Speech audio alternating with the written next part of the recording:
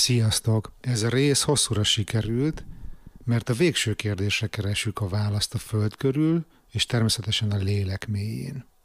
Onnan indulunk, hogy mi van akkor, amikor a kócsék ki. De ez csak a bemelegítés, ahonnan eljutunk oda, hogy a vendégemnek súlyos kérdéseket kell megválaszolnia. Te mit tennél, ha 30 évesen, újdonsült szülőként egy rejtélyes betegség arra kényszerítene, hogy számot vess az életeddel? Nagyon mélyre megyünk, és próbálunk értelmet keresni ebben a tragédiában. Végigkövethetjük a gyógyulásra tett eddig eredménytelen kísérleteket a terápiától a perui sámánokig. Beszélünk transzlégzésről, a jahuaszka kezelésről és az élet értelméről. Mielőtt elkezdjük ezt az izgalmas adást, egy gyors emlékeztetőt engedjetek meg. Február 7-én indul a következő élő online csoportos coaching program. Az utolsó helyek egyikét még megcsípheted, ha időben írsz nekem. Az öngondoskodás, mint rutin, a Mindfactor a Mindfulnessig című program részleteiről a bánandrás.com per csoport oldalon olvashatsz bővebben. Most pedig öveket becsatolni, kezdünk. Csendben megjegyzem, hogy a Patreon előfizetőink már vasárnap óta láthatják a beszélgetés vágatlan, videós verzióját, fizes előtte is, exkluzív tartalmakért, havi egy kávé ára, az nem sok. Na kezdjünk. Ez itt a Halottnak a Coach, a Bán Andrása. Garantált világmegváltás kb. egy órában. Látókat, sziasztok! A mai vendégem nem más, mint Ricsi. Tényleg nem is tudom, hogy most családnévvel Ricsi vagy? Jó lesz így, Ricsi. Jó, Ricsi, aki, aki egy kollégám, és mi már évek óta kapcsolatban vagyunk. Szerintem legelőször másfél éve próbáltalak ide csalogatni az adásba, de hogy látsz, látszik, hogy milyen türelmes vagyok, mert mert kivártam, hogy most végre itt vagy. Nagyon örülök, hogy, hogy elvállaltad a szereplést. Üdvözöllek, szia! Szia András, üdvözöllek én is, és sziasztok hallgatók, titeket is üdvözöllek, és köszi a meghívást. Légy szíves, Ricsi, mesélj magadról. Hány éves vagy, mivel foglalkozol, és, és milyen élethelyzetben vagy te most? Én idén töltöttem a 30. életévemet, ami most a legfontosabb információ, hogy egy egy hónapos kisgyereknek az apukája vagyok, és a Balatonparton élünk a feleségemmel. Van egy szerelem projektem, azt hiszem lehet így hívni, ez az Önkénteskedj Indiában, ami arról szól, hogy olyan gyermekeknek biztosítunk Varanasziban, számomra a világon talán az egyik legkedvesebb hely, tehát olyan gyerekeknek biztosítunk étkeztetést és ingyen oktatást, akik ezt nem engedhetnék meg maguknak, nehéz élethelyzetből kifolyólag és hát a világra egy nagyon nyitott emberke vagyok, azt hiszem, rajongok az idegen kultúrákért, a sok futásért és a jó zenékért, és amit így a szakmai életutamról érdemes tudni, körülbelül 7 éve foglalkozom emberek, szervezetek és digitális termékek fejlesztésével, hogyha nagyon szeretnénk ennek valami nevet adni, akkor Scrum Masterként vagy Agile Coachként, bár a coach megnevezést az elmúlt időszakban, hát kb. egy évben már nem szívesen használom, pedig papírok is feljogosítanak erre, de... de El, ezt majd azért jó, majd mesélj, el később, Jó, erről, erről majd beszéljünk. És ebből a hét évből három és fél évet egy nagyon szuper helyen töltöttem el alkalmazottként, alkalmazottként és itt nagyon-nagyon sokat tanultam, nagyon jó, nagyon jó segítőim voltak, és az volt az első és az egyetlen ö, munkahelyem, ahol így employee voltam, és körülbelül három és fél éve pedig szabadúszóként dolgozom, kisebb-nagyobb csapatok tagjaként segítek kisebb-nagyobb, szer, kisebb-nagyobb szervezeteknek a, a fejlődésben fejlesztésében az, hogy csapatokat uh-huh. segítek felépíteni, szervezeteket segítek felépíteni, és digitális termékeket segítek építeni. És hát az elmúlt most már kicsit több mint egy évben egy elég rázós útra, e, útra keveredtem. Én azt gondoltam az eddigi életemről, hogy ami eddig történt, az, az is elég már egy életre, de most egy ilyen új dimenziót ismertem meg. Egy éve egy, egy elég rázós úton járok, és ebből próbálok e, hát elrugaszkodni, vagy kikecmeregni, felszínen maradni. Uh-huh. Majdnem két, évben, két évvel ezelőtt, amikor fölvett felvettük egymással a kapcsolatot, akkor a te szavaiddal fogalmazva már szénné égtél, aki ugye kiégésnek egy elég mély gödrében voltál, de hogy most, amit az elmúlt egy évre mondasz, ez valami más. Igen, más igen, igen. Igen, akkor, amikor először beszéltünk, akkor egy kiégésnek az elég mély, eh, mély bugyraiban voltam, és akkor azt mondtam, hogy beszéljünk akkor, amikor, eh, amikor jobban leszek, és akkor majd a tapasztalatokról is, és talán tudok, eh, tudok mesélni, hogy hogy sikerült jobban lenni. És az az érdekes, hogy ezt a kiégést, ezt egy fél év, egy év alatt elég, elég jól sikerült kezelnem, és elég jól sikerült ebből kimásznom. És aztán itt egy nagyon érdekes fordulat az életemben, hát kialakult nálam egy betegség, egy elég, egy elég furcsa, elég ritkának tűnő és elég súlyosnak tűnő betegség, amivel most, hát most már egy éve ismerkedem, és próbálom megérteni, és próbálok rájönni, hogy ez, hogy ez hogy működik, hogy emögött milyen dinamikák vannak.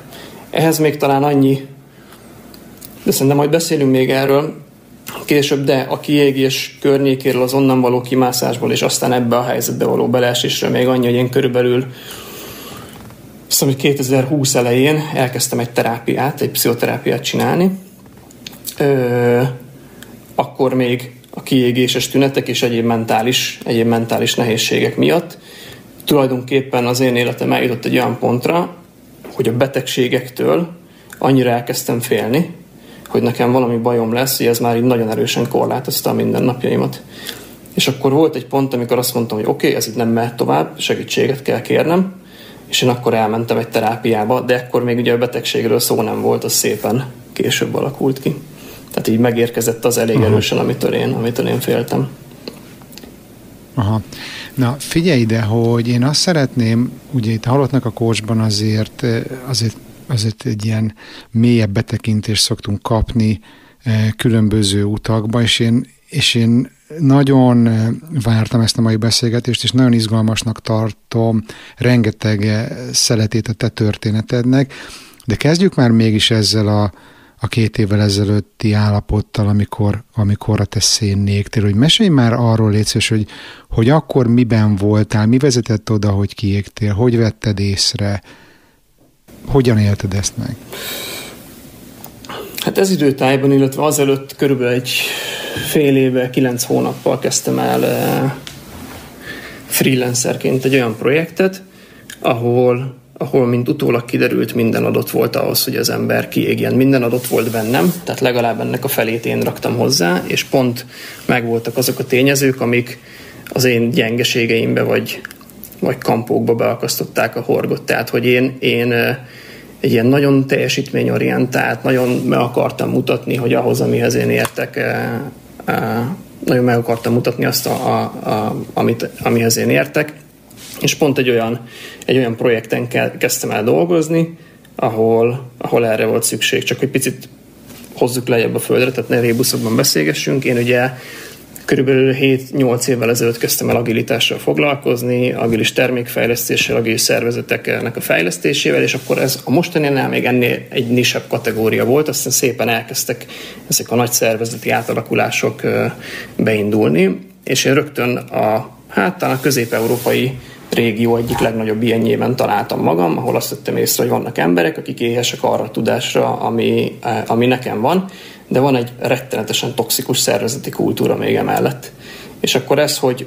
Mesélj erről egy picit részletesebben, jó? Mert, mert most így szeretném kicsit szétválogatni azt, hogy mondod, hogy 50-50 volt nagyjából szerinted az, hogy miért égtél ki, tehát hogy benned is megvoltak hozzá a, a hozzávalók, de hogy most egy picit erről a toxikus kultúráról is tudsz néhány szót mesélni?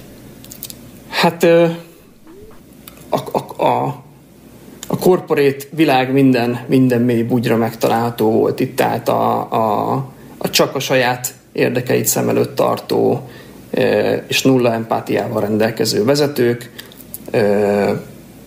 undorító politikai játszmák, fúrás, faragás, mindenhogy, és én pedig egy ilyen, ahogy mondtam is talán a bemutatkozásban, egy ilyen elég nyitott, liberális, már-már pacifista jelleggel oda mentem, hogy na, akkor itt csináljunk együtt, együtt valami jót, és nekem teljesen megdöbbentő volt ezen a terepen juniorként, hogy hogy működik egy ilyen corporate világ, mert én előtte sem dolgoztam ilyenben, és ez engem annyira lesokkolt, és annyira nehezen érintett érzelmileg, hogy, hogy ez mindenképpen egy nagyon fontos tényezője volt annak, hogy, hogy én aztán elég rosszul lettem.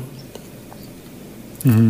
Most itt azonosítottál néhány tényezőt, ami, ami, ami téged zavart, vagy, vagy szerinted a kiégésedhez hozzájárult, ez a politika és, és társai, de hogy így, így kicsit nagyobb időtávlatból visszatekintve, hogyha ebből az élményedből egy kicsit általánosítasz, vagy absztrahálsz, akkor mik azok szerinted azok a tényezők, amik a szervezetben hát úgymond red flag, tehát hogy oda kell figyelni, hogyha ilyennel találkozik valaki, mert ugye te sok szervezettel dolgoztál igen, most már. Igen. Hát ha azt látom, hogy nagyon az egyéni érdekek a motiválók, és az egyéni karrier érdekek a motiválók, ha azt látom, hogy nincs transzparencia a szervezetben, ha azt látom, hogy, hogy nem az egyén a legfontosabb egy szervezetben, ez, ez mondjuk nem red de egy nagyon, nálam egy nagyon erős jelző, mert én hiszek abban, hogy ha az egyének jól vannak egy szervezetben, akkor, akkor tudnak igazán jól dolgozni, és igazán jó termékeket csinálni. És hogyha azt látom, hogy, hogy az, aki, akivel én dolgozom segítőként, az nem szuper motivált abban, hogy, hogy együtt, együtt fejlődjünk, csak ki akar pipálni egy Excel táblában egy, egy rubrikát, vagy le akar adni a, a bornak egy PPT-t, és egyébként ki akarja rakni az ajtóra pecsétet, hogy na, most már mi is olyan agilisek vagyunk, hogy na még. Szóval ezek mind, ezek mind red flagek, és azóta próbálom is megválogatni azokat az ügyfeleket, akikkel együtt, együtt dolgozok, mert ha ő nem érdekelt abban, hogy jó legyen, akkor nekem nincs ott semmi keresni valóm. Hmm. Tök érdekes, mert uh, ugye most már nem szeretett coachnak hívni magad, ilyen agile coachként is, amit most mondasz, az picit, picit rezonál azzal, amit én uh, is gondolok erről a általánosan véve segítő szakmáról, hogy ha a kliensed nem akar igazán változni, változtatni, akkor neked a siker az lehetetlen. Tehát, hogy, hogy akkor egy olyan, olyan munkakapcsolatba kerülsz bele segítőként, amiből lehetetlen eh, sikeresen kijönni szerintem. Így van, és ezt mondott abszolút, te is egy picit, abszolút, nem? és ha még van rajtad egy külső nyomás, meg egy belső nyomás, tehát egyrészt ez jelenti a te egzisztenciádat, hogy te segítesz, ilyen szervezeteken ebből élsz, másrészt meg van egy, van egy belső nyomás is rajtad, hogy te ténylegesen, tehát van egy ilyen, egy ilyen egy ilyen belső motivációt, hogy te segítsél, és hogyha ez a kettő megvan, és egy olyan, egy olyan szervezettel találkozol, aki valójában nem akarja, hogy segítsél neki, csak egy pecsétet akar, és semmilyen mélyre menő változást nem akar, mert az fájdalmas, főleg ezeknek az arcoknak, akik politikában, meg, meg intrikákban és a transzparencia teljes hiányában nagyon otthon mozognak, hiszen sokuk erre építette fel a karrierjét, tisztelt a kivételnek, az nagyon-nagyon rosszul fogja magát érezni, hogyha jön egy emberke, aki ténylegesen így megy le a gyökérokokig, radikális transzparenciát hoz a szervezetbe, nagyon lerövidíti a feedback loopokat, ezek nagyon hamar ki tudják verni a biztosítékot. És nekem az első, mm-hmm. az első akkor... ilyen projekten sokáig tartott, mire rájöttem, hogy itt valójában lehetetlen nyerni. És akkor te segítőként lehet, hogy hirtelen már eh, közelenségé válsz a vezető szemében? Volt ilyen? Hogyne. Hát én olyan, olyan szőnyegek szélén álltam, hogy öröm volt, öröm volt nézni. Persze jó volt ilyen. Persze jó volt ilyen. Mm-hmm.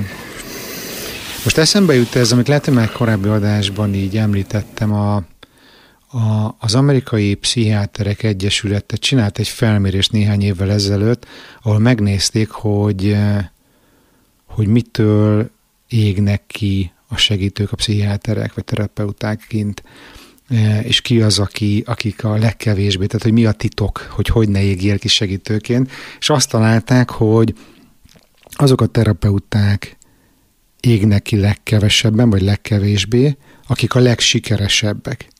És akkor ez így önmagában egy picit olyan furcsán hangzik, mert hogy persze, hát lehet, hogy azért sikeresek, mert nem égnek ki, de hogy igazából, amikor egy kicsit mélyebbre ástak, akkor azt találták, hogy ők, hogyha egy olyan klienssel vannak, akiken látják, hogy ők nem akarnak, nem tudnak, nem készek a változtatásra, és nem teszik bele azt a munkába, amit nekik bele kell tenni kliens oldalon, akkor egy néhány alkalom után szépen megválnak tőlük.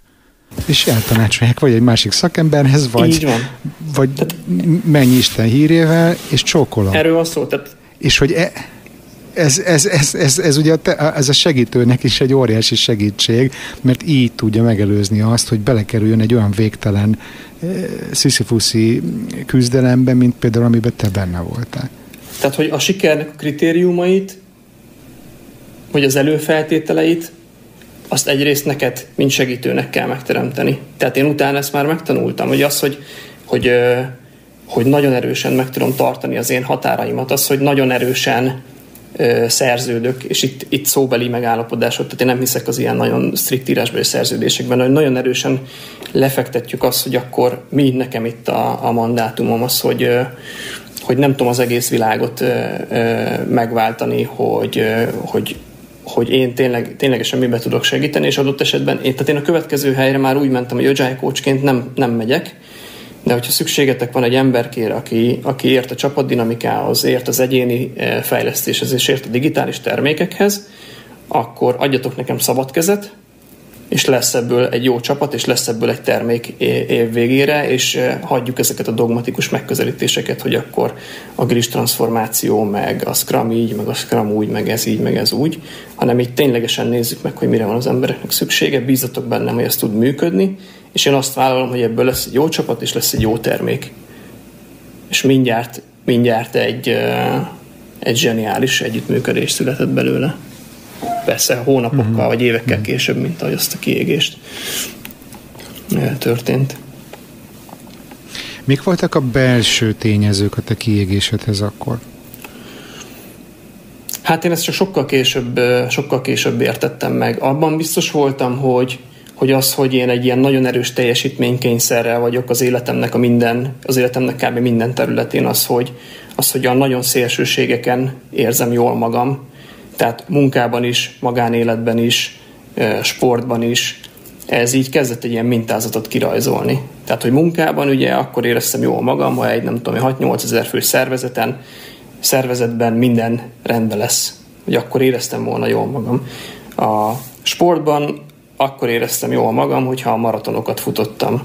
Az utazásban akkor éreztem, akkor éreztem jól magam, hogyha olyan messzire mentem, amilyen messzire csak lehet menni, és annyira, annyira érdekes vagy, vagy sokszor veszélyes helyekre, amilyen veszélyes helyekre csak lehet menni. És én elkezdtem azt keresni, hogy emögött a, a folyamatos tenni, tenni, tenni mutatni, tenni mögött milyen, mi lehet. Hiszen ez egy annyira erős mintázatként rajzolódott ki az életemben, hogy, hogy, hogy ezzel muszáj volt foglalkozni, és, és ez már abszolút terápiás, terápiás terület volt. Tehát, hogy teljesen egyértelműen a, a gyerekkorból jöttek ezek a dolgok, és a, és a családi, családi múltból. Tehát, hogy azok a transgenerációs szálak, amik, amik nálunk nagyon erősek, és amik, amikből én is kaptam egy jó nagy batyut, azok nagyon-nagyon generálták ezt a, ezt a, fajta, ezt a fajta működést, és ehhez kellett nekem a terápia, és, és még a terápiában is, tehát hosszú és intenzív terápiában is még maradtak olyan területek, amik, amikre egész egyszerűen nem jutottam el magamban, mert annyira mélyen voltak, és annyira, annyira le voltak nyomva a felszín alá, és annyira el voltak folytva az elmúlt években, hogy egész egyszerűen sehogy nem jöttek a felszínre, és akkor kezdtem el később más módszereket keresni arra, hogy, hogy ezeket a terápiával szigorúan kiegészítve, hogy lehet a felszínre hozni. Erről majd még fogunk részletesebben beszélni később. A, nem tudom, hogy, hogy, hogy, hogy beszélnél még egy picit arról, hogy, amikre rájöttél a terápiában, amiket mondasz, hogy ezek a transgenerációs minták. Én emlékszem, hogy a, a, az e-mailedben még a trauma szó is e, e, följött, hogy ezeknek a természetéről egy picit esetleg beszélnél? Uh-huh. Ezek abszolút, abszolút a, a, a, családból jönnek. Nekem egy olyan gyermekkorom volt, ami, ami kívülről e, még akár jónak is nézhetett ki, és voltak benne belülről is jó periódusok, de egy utólag visszatekintve egy elég, egy elég nehéz, egy elég nehéz gyermekkor és kora felnőtt kor volt, amiből én nagyon erős, nagyon erős batyukat hoztam magammal. Erre igazából akkor kezdtem rájönni, vagy akkor kezdtem ezzel foglalkozni, amikor egyszer csak hazamentem, ez 2011 januárjában volt, egyszer csak hazamentem, és azzal találtam magam szembe, hogy apukám megbetegedett eléggé. És, és egy, elég, egy elég hosszú betegség után végül is 2013. októberében meghalt, úgyhogy én végig, végig kísértem ezen, a, ezen az úton. És előtte így a, az érzelmekkel való foglalkozás, meg a, meg a meg így a saját lelkemmel való foglalkozás az abszolút nem volt opció, hiszen nem tudtam erről, hiszen az én családomban erről soha nem volt szó, egy teljesen, teljesen más légkörből jöttem, édesanyám és édesapám is tulajdonképpen kétkezi munk- vállalkozók, de kétkezi munkások voltak, abszolút soha nem, nem kerültek elő ilyen témák, hogy érzelmi intelligencia, hogy mentális jólét, hogy hogy akkor ezekről beszéljünk, hogy mi van bennünk, és, és ezek szépen, szépen oda, oda, odáig jutottak, hogy nagyon-nagyon sok dolog rakódott le bennem, és ezek szépen elkezdtek dolgozni, de erre csak évekkel később jöttem rá, amikor ugye elindultam ezen a e, ezen az érzelmekkel, lélekkel foglalkozó e, úton, annak is csak a, a legvégén jöttem rá, hogy még vannak a mélyben olyanok, amik, amiket én nem tudtam fölismerni. És hogy, hogy értsd, hogy, hogy, hogy mennyire messziről jöttem. Tehát én emlékszem, hogy valahogy a, itt édesapám halála betegsége környékén a kezembe került, a Poppernek van egy ilyen kis piros, sok, sok kis piros könyve van, de azt hiszem, hogy a belső utak könyve volt az, amit én kinyitottam, elolvastam, és így te jó ég, van egy idős pocakos ember, aki az én életemről mesél, hogy itt mi történik, és hogy ilyen létezik, és aztán ez volt az, ami egy ilyen nagy lökést adott. De hogy de hogy olyan szinten messziről jöttem, hogy amikor nekem ezt otthon meglátták az íróasztalomon, akkor mindenki fogta fejét, hogy mi történt a gyerekkel, kezd meghűlni. Elromlott a gyerek. Elromlott a gyerek, igen. Tehát, hogy, hogy ennyire nem volt ez benne így a közhangulatban a családban, és aztán később pedig kiderültek, hogy kiderült nagyon sok minden, hogy az én édesanyám hogy működik, a mögött mi áll. Az én édesapám hogy működik, mű, működött, és ami később a halálához is vezetett részben, vagy egészben, ezt nem tudom még pontosan, hogy mennyi, a mögött mi áll, tehát ők milyen szálakat hoznak az ő, az ő családjukból.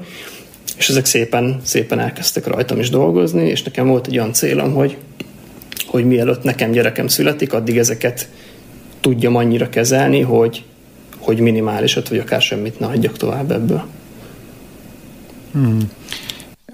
Ez, amit most mondasz itt a végén, hogy mire, neke, mire te apává válsz, addigra te már ezeket ezeket a batyukat le tudja tenni, vagy vissza tudja adni a szüleidnek, a szüleidnek, hogy nekem ez is egy picit úgy hangzik, mint amit korábban mondtál arról a fajta teljesítménykényszerről, hogy, hogy neked mindenből az extrém eredményt kell elérned, hogy azért ez is egy, egy olyan célkitűzés, ami szerintem főleg 30 éves korra hát eléggé reálisan szerintem elérhetetlen. Tehát nyilván az jó, hogy megfogalmazódik az igény, hogy az ember kezdjen el foglalkozni eh, a, saját eh, maga megismerésével és elfogadásával, de az, hogyha én most rakok egy ilyen célkitűzést, hogy mire én apa leszek, nekem rendbe kell raknom a szaraimat, ez motivációnak jó, de azért nem, nem feltétlenül reális, ez, igaz? Ez abszolút igaz, viszont, viszont odáig eljutottam, hogy azt felismertem, hogy hogy valószínűleg a, a, a, a traumákat és a traumatizálást azt, azt nem tudom elkerülni. Tehát egy nagyon kedves barátom mondta azt, hogy egy gyerek úgy születik meg, hogy tökéletes, és az a kérdés, hogy a szülő mennyit, mennyit ront rajta, vagy mennyit, vagy mennyit tud segíteni. És nekem önmagában az a felismerés, hogy, hogy a trauma az ugye nem feltétlenül abból származik, hogy valami rossz történik, vagy valami nehéz történik. Ez persze alap hozzávalója, de hogyha nem tudunk róla beszélni, vagy azért, mert nem ismerjük fel, hogy erről lehet beszélni, vagy kell beszélni, akkor válik szerintem ez igazán veszélyessé.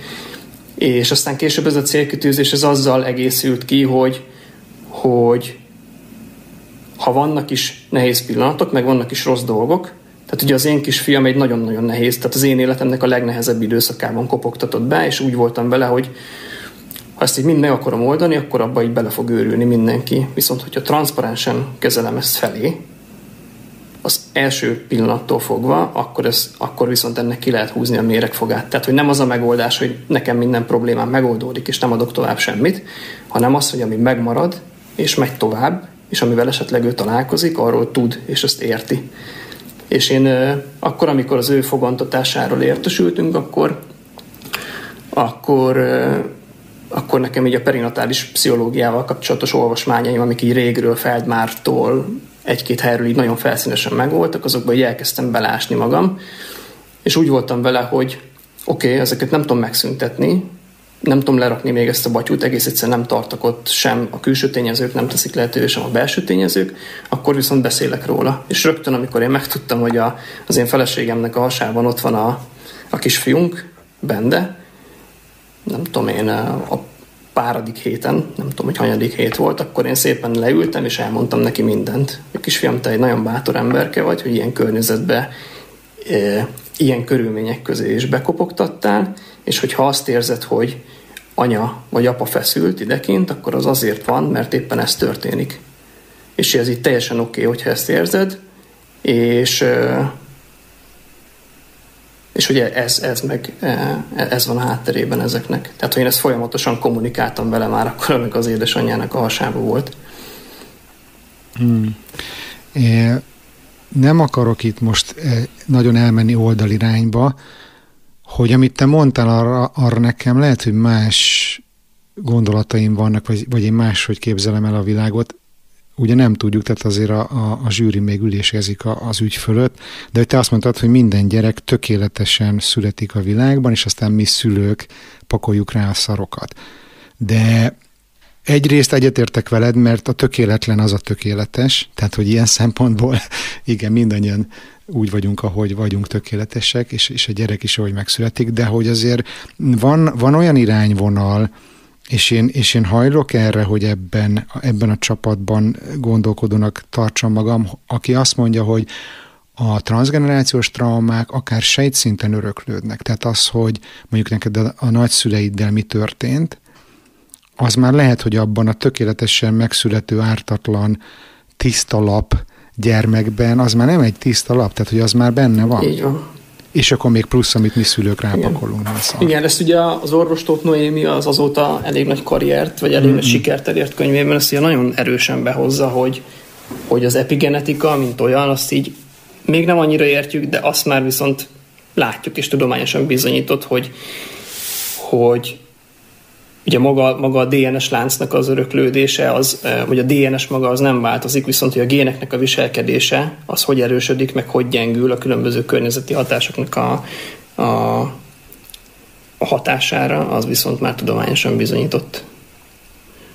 Na, akkor mégsem látjuk különbözően a dolgot. Szóval, szóval hogy, hogy te ebben azért szülőként nagy felelősséget vállaltál magadra, hogy transzparens legyél a nulladik perctől a gyermekeddel, és én azt gondolom, hogy ez, ez, ez nagyon, nekem ez nagyon tetszik.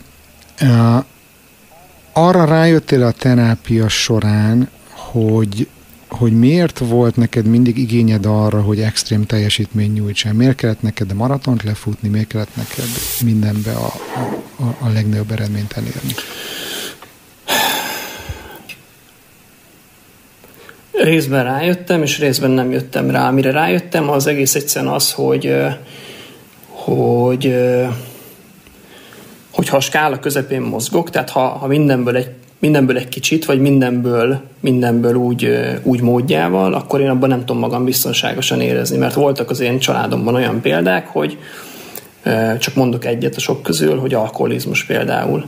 És akkor én úgy voltam vele, hogy ha, ha, ha csak, egy, csak egy picit ebbe belecsúszok, akkor nagyon félek attól, hogy, hogy, az a, hogy, azok, hogy olyan élethelyzetbe kerülök, mint amilyen rossz példák előttem voltak. És, és ezáltal ilyen nagyon, nagyon strikt elvek mentén kezdtem el, kezdtem el élni. Tehát, tehát nagyon-nagyon kerültem a skálának a közepét, mert úgy éreztem, hogy, hogy ott így meginokhatok, vagy ott nem tudom egészen stabilan, stabilan tartani magam, és akkor, hogy eh, oké, okay, hogy lehet jól kezelni a dolgokat, vagy semmit nem csinálok, és akkor nagyon nem csinálom, vagy nagyon csinálom. Tehát, hogy ez, ez, ez mindenképpen ilyen eleme volt ennek, és, és hát az, hogy az pedig a másik összetevője volt ennek, hogy például ezeknél a teljesítmény sportoknál, vagy akár a munkában is, én nagyon meg akartam azt mutatni, nagyon, hogy mondjam, leegyszerűsítve, hogy én igenis jogosult vagyok az életre. Tehát, hogy itt vagyok, és higgyétek el, hogy, hogy amit én csinálok, az jó.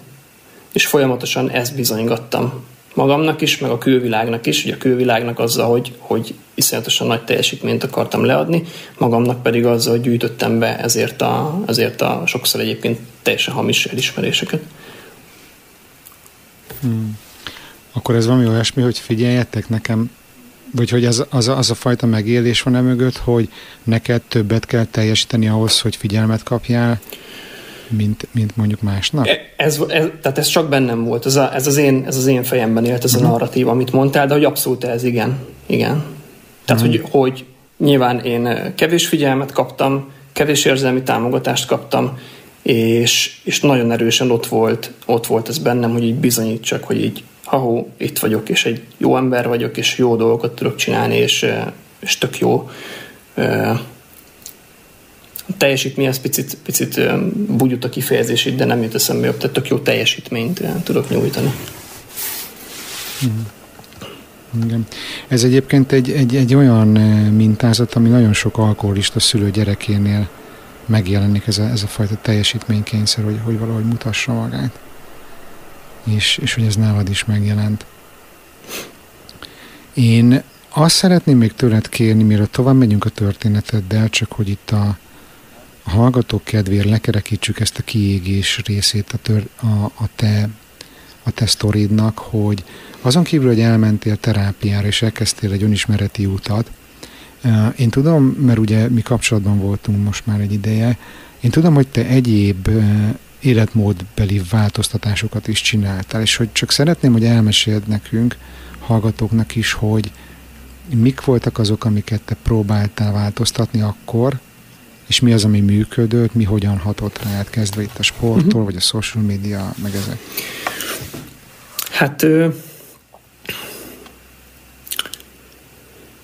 a legelső, és, és tényleg az egyik legfontosabb lépés az a terápia volt, tehát a terápia volt. És a terápiában és az első időszakban főleg álmokkal dolgoztunk. És hogy aki nem jártas ebben, annak tűnhet ez ilyen nagyon, nagyon misztikus meg ilyen nagyon föltől elrugaszkodott valaminek, de hogy nekem megdöbbentő volt, ahogy az álmok egyébként mutatták, hogy mi van bennem, és mi van a valóságban. És hogy ez nagyon hamar elvezetett oda, hogy egész egyszerűen ö, én ott hagytam azt a, azt a munkát, ami, ami engem a kiégéshez vezetett. Tehát én konkrétan emlékszem az álomra, kijött az egyik álomba az, hogy, hogy ez egy halott ügy. Ez, ez volt a, tehát a, a terápiában végül a, a terapeutámmal, Karcsival erre jutottunk, hogy figyú, ez egy halott ügy. Ezt én mondtam ki magamnak, és én másnap azt mondtam, hogy én ezt nem szeretném tovább csinálni. És úgy ugrottam ki ebből, hogy semmilyen más lehetőség egyébként nem volt a képben. És, Figyelj, Ricsi, és, és, csak annyit, hogy még így az életmóddal kapcsolatban, ez pont egybeesett egyébként így a Covid beköszöntével, és aztán és aztán innentől megjött a, a többi dolog, de ez volt a legfontosabb lépés. Arról mesélj légy szíves, hogyan élted meg lelkileg azt, hogy te, akinek mindig teljesíteni kell, és mindig extrém teljesítményt kell nyújtani, beletörik a bicskád, idézőjelbe, egy, egy feladatba, és fölállsz, és ott hagyod. Mert hogy ez egy halott ügy. Ezt, ezt hogy élted meg? Mennyire volt ez kihívás? Én nagyon-nagyon büszke voltam magamra, és egy nagyon nagy megkönnyebbülés volt mert ott, ott, ott nagyon hamar átkapcsolt ez a kapcsoló, itt nem az a fasz a gyerek, aki, aki lehetetlen ügyekben ilyen szélmalom harcot vív, hanem, hanem az az igazán nagy eredmény, vagy nagy siker, hogyha valaki ezt be tudja látni, és azt mondja, hogy kös srácok, de ezt nem velem csináljátok tovább. Hmm. Tehát hmm. Itt, itt zéró kudarc élmény volt, tehát itt, itt egy nagyon nagy megkönnyebbülés volt. Szuper. És csak még hagyj idézek a, a, a 2020 márciusi levelezésünkből, amit írtál, hogy, hogy akkor, amikor benne voltál ebben a, a, ebben a gödörben a kiégés miatt, az nem tudom, hogy már a felmondás előtt vagy után volt, de, de neked volt egy ilyen tervet, hogy fölmész a Monteverestre a Basecampbe, igaz? Így van. Így van. Ez, ebből lett valami ebből az utazásból? Hát ez úgy volt, hogy, hogy össze volt pakolva a hátizsákom, le voltak egyeztetve a serpák, le volt egyeztetve minden, és az indulás előtt két nappal az az iroda, aki, aki segítette volna ezt az utazást, azt mondta, hogy a Covid-ra való tekintettel, ez ugye március közepe, tehát a Covid kirobbanásának időpontja, a Covid-ra való tekintettel nem tudják vállalni ezt az utazást. És egy nagyon kedves barátommal mentem volna, és akkor én gyorsan felhívtam, hogy figyelj, Tomi, baj van, nem tudunk menni Nepába, de van kint még egy, még egy ismerősöm Nepába, és én most egy-két óra alatt leszervezem vele. Tehát nyitva vannak a határok, még járnak gépek, azt nem törölték, gyorsan egy két óra alatt újra szerveztem az egész, az egész Basecamp trekket, és aztán úgy volt, hogy akkor ennek ellenére megyünk, és éjszaka, aznap éjszaka a Nepál bezárta a határokat. Tehát úgy, hogy össze volt, össze volt pakolva a, a, a hátizsák, ki volt nyomtatva a vízum, és a, a, a segítők is így a startvonalon álltak, hogy akkor mi megyünk.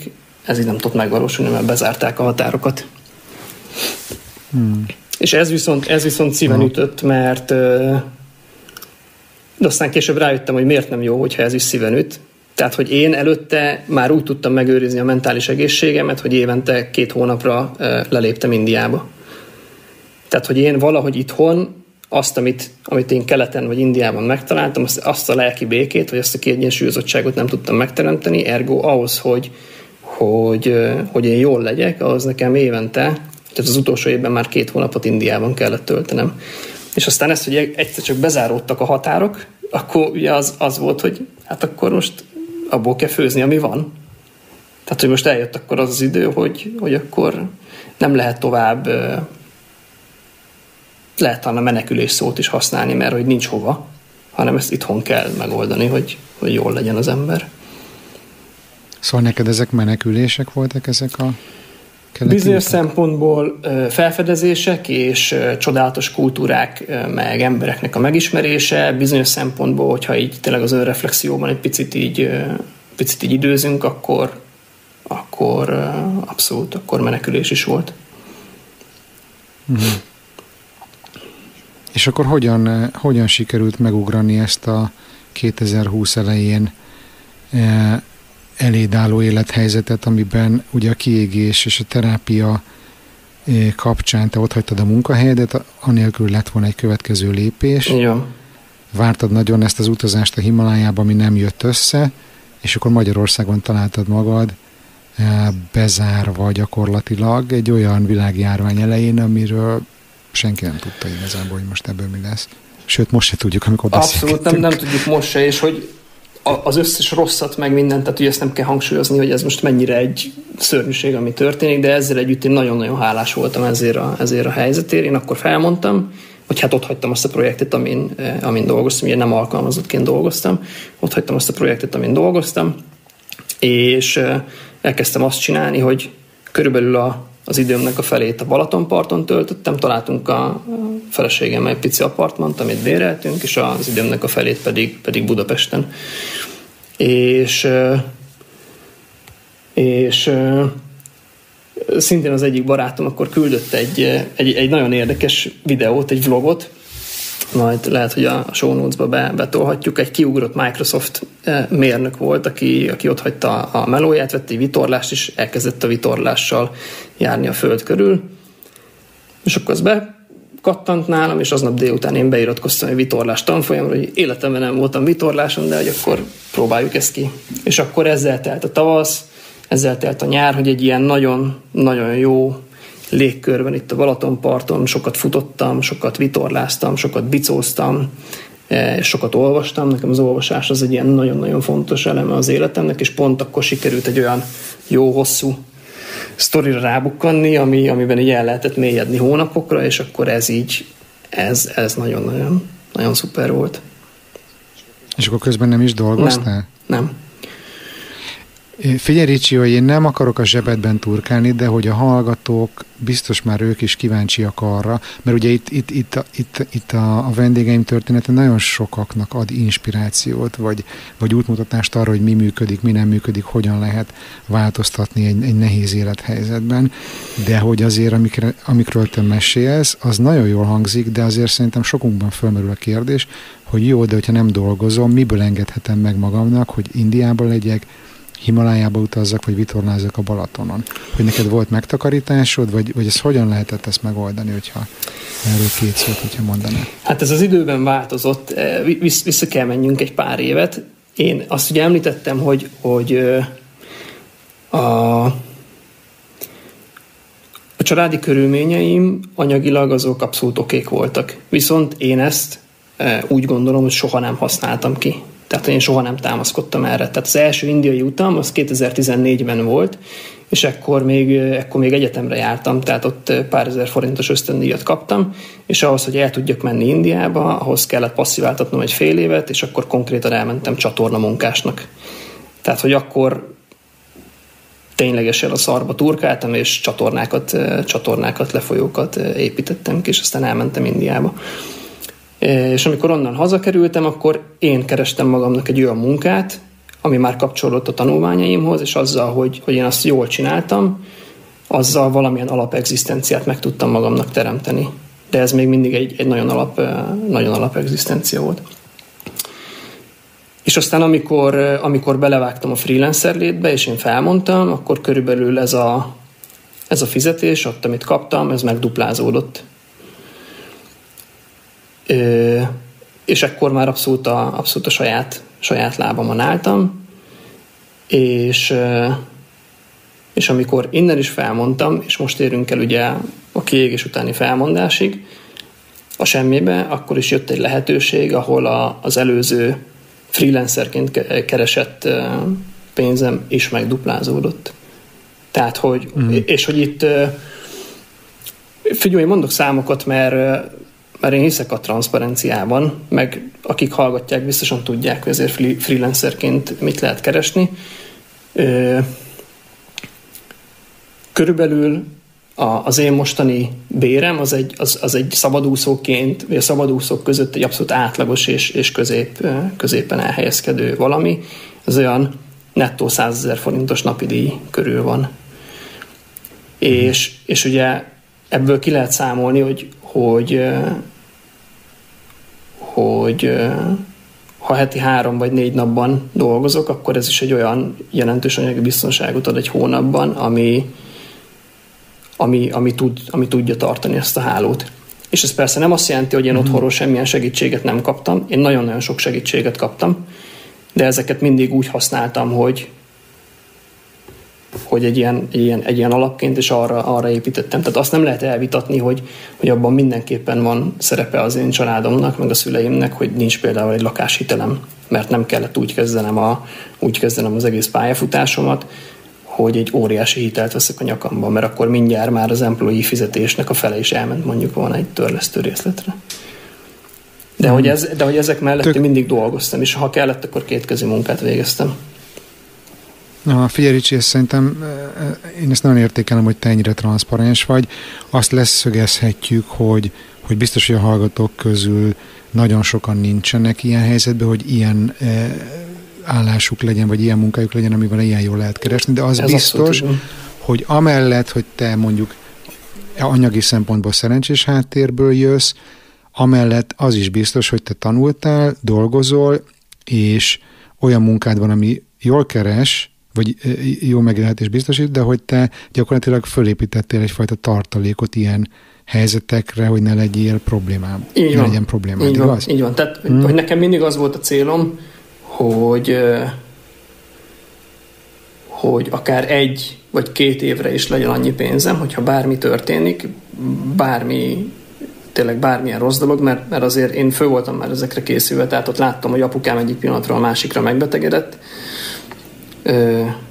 Később egyébként ezt a témát még, még nem érintettük, de, de ez is egy fontos pont, hogy amikor én, amikor én freelancer lettem, abban az évben, vagy azokban a hónapokban az én feleségem is megbetegedett nagyon súlyosan. Ő is rákos lett, és én így, én így hmm. álltam neki a freelancer karrieremnek, és én úgy voltam vele, hogy ez akkor jó buli nekem, hogyha egy-két évnyi tartalékot is akár össze tudok, össze tudok gyűjteni. Oh, szóval, hogy akkor eléggé sokasodtak ezek a fekete felhők így a, így a fejed fölött, és korábban említetted, hogy szinte már rettegtél a betegség, betegségektől. Így van. Most ez így azért jobban érhető, jobban érthető, hogy ez ennyire körülött téged. Uh, vigyük is talán tovább ebbe az irányba a beszélgetésünket, jó? Mert ugye most, amitől te rettegtél, az gyakorlatilag megérkezett az életedbe, igaz? Ah, ahogy az kell. Vagy ahogy az így utólag visszatekintve várható volt. Tehát a sztoridban ott tartunk, hogy megvolt ez a kiégés, elkezdted a terápiát, életmódot változtattál. Így van. Leköltöztetek Balcsira, igaz? Így van. Feleséged meggyógyult. Feleségem meggyógyult. Várandós lett. Az később, az később következett. Köz, köztem még később. volt egy olyan, hogy ugye teljesen, tehát én úgy jöttem el, hogy nem is, nem is kerestem munkát, úgy voltam vele, hogy most a nyáron én itt el leszek a, el leszek a Balatonparton, dolgoztam annyit előtte, hogy, hogy voltak tartalékaim, és aztán szerintem néhány hét után, egy vagy két hét után fölhívott egy nagyon kedves ismerősöm, akivel korábban dolgoztunk együtt, szintén egy ilyen projekten, egy ilyen side gigen, hogy, hogy ő most uh, lehet, hogy szeretne velem együtt dolgozni. És akkor mondtam, hogy um, oké, okay, itt vagyok, szabad vagyok, és beszélgessünk róla és végül is egy olyan, olyan munkát tudtunk közösen összehozni, ami, ami, mint már korábban említettem, sikerült úgy a határokat belőni, meg úgy az én mandátumomat vagy, vagy ott létemet belőni, ami egy ilyen zseniális együttműködéshez vezetett, és az azóta is tart, és én azóta is nagyon szeretem.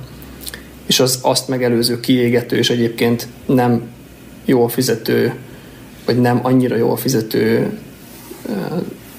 szarmeló után egy anyagilag és, és mentális egészség szempontjából, meg motiváció szempontjából is egy ilyen nagyon-nagyon jó együttműködés talált rám nagyon hamar. Tehát akkor úgy nézett ki, hogy kijössz a gödörből, feleséged is meggyógyult, te is kijöttél a gödörből, hogy lett egy jó melód.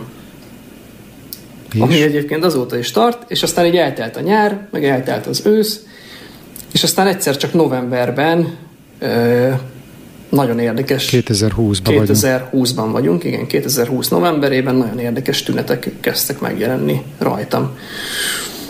Ö, itt fájt, ott fájt, de, a, de a, a fő tünet az az volt, hogy nagyon fáztak a lábfejeim. És ez olyan szintű fázást kell elképzelni, mintha mezitláb állnék a, a tükörjégen.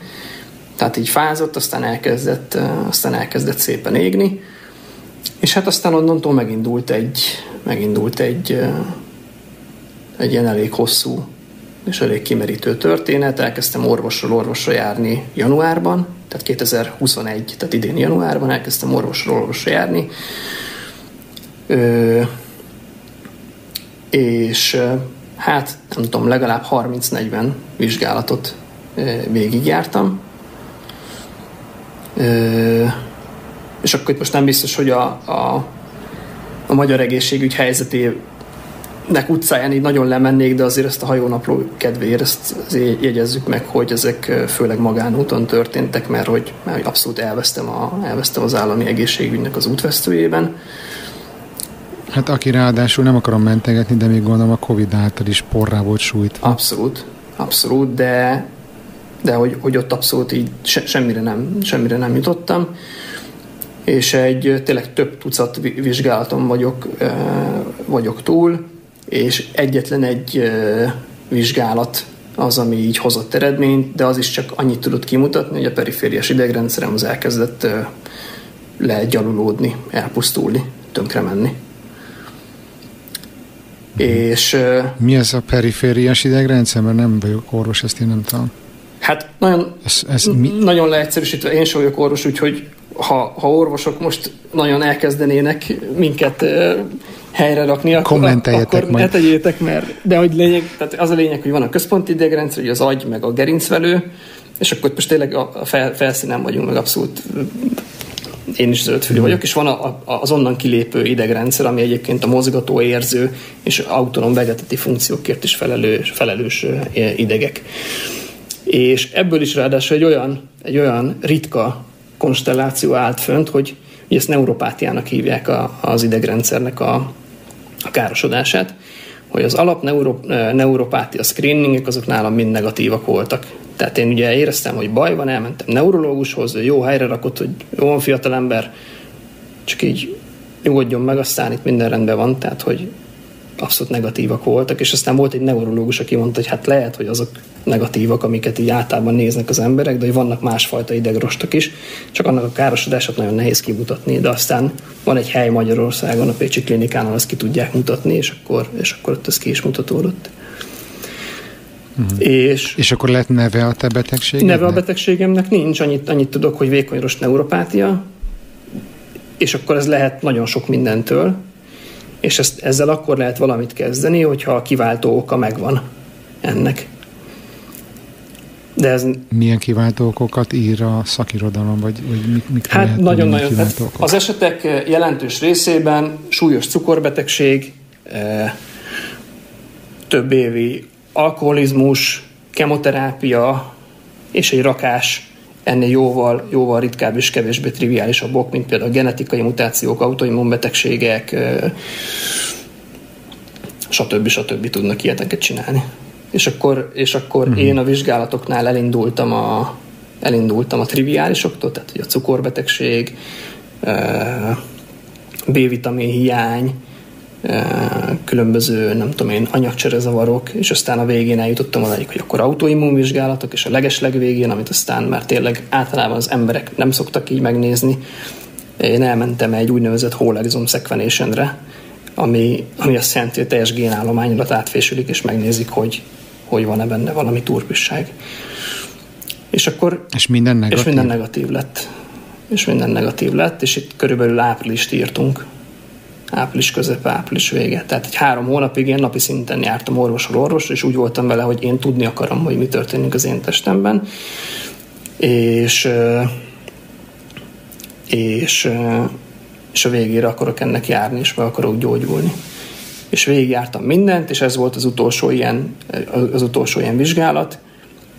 Ugye ezeket, ezeket már az állami ellátásban nem igazán csinálják, tehát nagyon hosszú engedélyeztetés, meg mindenféle, mindenféle pecsétek kellnek hozzá, de találtam egy labort Pesten, ahol megcsinálják, megcsinálták ezt a whole exome sequenation, ami több szempontból is nekem egy nagyon érdekes vizsgálat volt, ugye már beszéltünk egy picit az epigenetikáról, tehát itt az, hogy konkrétan megnézik a teljes génállományt, és vannak ilyen nagy világszintű adatbázisok, és minden embernek vannak egyébként génmutációi, és ezeket a a te génmutációidat, ez egy ilyen százas nagyságrend benned is, meg bennem, és ezt átfuttatják ezen a nagy adatbázison, és megnézik, hogy ezekkel a mutációkkal kötöttek már össze-e valamilyen betegséget. És negatív lett. És ami, ami érdekes volt még ebben a vizsgálatban, hogy kérdezte a genetikus doktorni, hogy na és az onkogéneknek az eredményét szeretném-e tudni. És hát így belegondolt... Az az, hogy az, bocs, az, az, az hogy, a, a, a, a rákos megbetegedésért felelős génmutációk, ez, ez egy eléggé jó megkutatott hajlam. hajlam. Ez egy eléggé jó megkutatott téma hmm. már, és akkor én gondolkodtam gyorsan, és aztán rájöttem, hogy az apukám rákban halt meg, az apukámnak az apukája rákban halt meg, az apukámnak a testvére éppen rákos, és még ki tudja, hogy hány, hány ilyen eset volt így a felmenők között, és azt mondtam, hogy hát köszönöm, nem szeretném tudni ennek az eredményét, mert ugye tényleg tudsz egy olyan batyut kapni, hogy a fiatal ember hasnyálmirigy rákra, mondjuk a 60% esélyed van, és akkor cipeld ezt a batyut még az életedben. És akkor én ezt nem, nem szerettem volna tudni. És aztán, amikor az eredményeknek a kiértékelése volt, akkor pedig mondta a, a, a genetikus doktornő, hogy belerakták az eredményt, mert semmit nem találtak benne. Tehát abszolút negatív volt az is. Minden, minden onkogén oké okay volt. És akkor itt, itt tartottunk, hogy április, az én állapotom az romlik egyfolytában, tehát a tünetek azok, azok erősödnek, Ezeket most nem részletezném, de elkezdtek az izmaim rángatózni már a, már a lábamban, a közérzetem az, az nagyon rossz volt, és hogy nem tudjuk, hogy nem tudjuk, hogy mitől van. És én, aki, én, aki mindig igyekeztem így a saját dolgaimat kézben tartani, és így valamennyire kontrollálni azt, hogy az én életem éppen hol tart, teljesen kicsúszott a kontroll a közem közül. És ez vagy 30 éves? Aha. Igen. Friss apuka. És egy, és egy nagyon, nagyon érdekes, nagyon érdekes hát dinamika az, hogy ugye én addig, tehát nagyon-nagyon féltem a betegségektől, olyannyira, hogy ezek ténylegesen ilyen mentális nehézségekhez vezettek, és elkezdtem a terápiát. Nagyon féltem attól, hogy úgy vállaljak eh, gyereket, hogy én nem vagyok rendben, és hogy nem tudom jól kezelni a, a dolgaimat. És ilyen novemberben elkezdődött ez a betegség, tehát így bum, megérkezett az, amitől féltem, és e, márciusban a 30. születésnapom előtt pedig mondta a feleségem, hogy, hogy babát várunk, tehát, hogy ez a két dolog, amitől én, amitől én, amitől én picit, eh, picit úgy tartottam, az, az így megérkezett. A picit úgy tartottam, az azért erős understatement, nem? A betegségektől rohadt, rohadtul féltem, és a, a gyerek témával meg úgy voltam, hogy, hogy egész egyszerűen nem tudtam elképzelni, hogy ilyen nehézségekkel én tudnék jó apukája, tudnék-e jó apukája lenni egy gyereknek. És ugye ennek a betegségnek amikor ez így elkezdődött, onnantól kezdve éreztem, hogy volt egy nagyon erős transformatív hatása. Tehát, hogy voltak olyan kérdések a magánéletemben, a párkapcsolatomban, a jövőmmel kapcsolatban, amikre egész egyszerűen nem, nem találtam, vagy nem mertem válaszolni. És ez a betegség ez, szép, ez szépen elkezdett beletolni ezekbe a kérdésekbe, és ezeknek a kérdéseknek a megválaszolásába. És, és Ri- igen? Hogy nagyon szeretném, hogyha ebben elmélyülnénk, okay. hogyha neked okay. ez oké. Okay. Hogy tényleg voltak, voltak olyan kérdések, amik nagyon, nagyon sok el, elvarratlan szál volt az én életemben. A kapcsolataimban, a, a párkapcsolatomban, az én saját magammal való hogylétemben, és ezeket mindig úgy, mindig úgy elkerültem. És amikor ez a betegség megjelent, akkor, akkor én nagyon, akkor nekem nagyon-nagyon hamar eszembe jutott az, hogy ez a rengeteg elfolytott, elfolytott dolog, ez a rengeteg megválaszolatlan kérdés, ez a rengeteg bizonytalanság, ez egész egyszerűen így, így tört a felszínre. Ugye én előtte még egészségesen olvastam a Máté Gábornak a Testlázadása című, című könyvét, ahol nagyon-nagyon sokat ír erről. És én úgy voltam vele, hogy na ez az a pont, ahol, ahol itt tényleg egyszer csak jött az élet, és így pofán csapott hogy ha, most így nem kezdem el ezek, ezeket a dolgokat rendbe rakni, akkor, akkor nem fog működni. Hmm. És szépen elkezdtem. És el... akkor még jártál a terápiára? Hogyne. Hogyne. hogyne.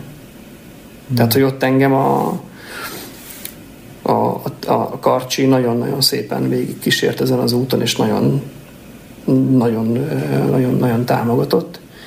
És aztán jöttek olyan, olyan beszélgetések, olyan, olyan, olyan felismerések, amik, amik egyenes úton vezettek oda, hogy, hogy,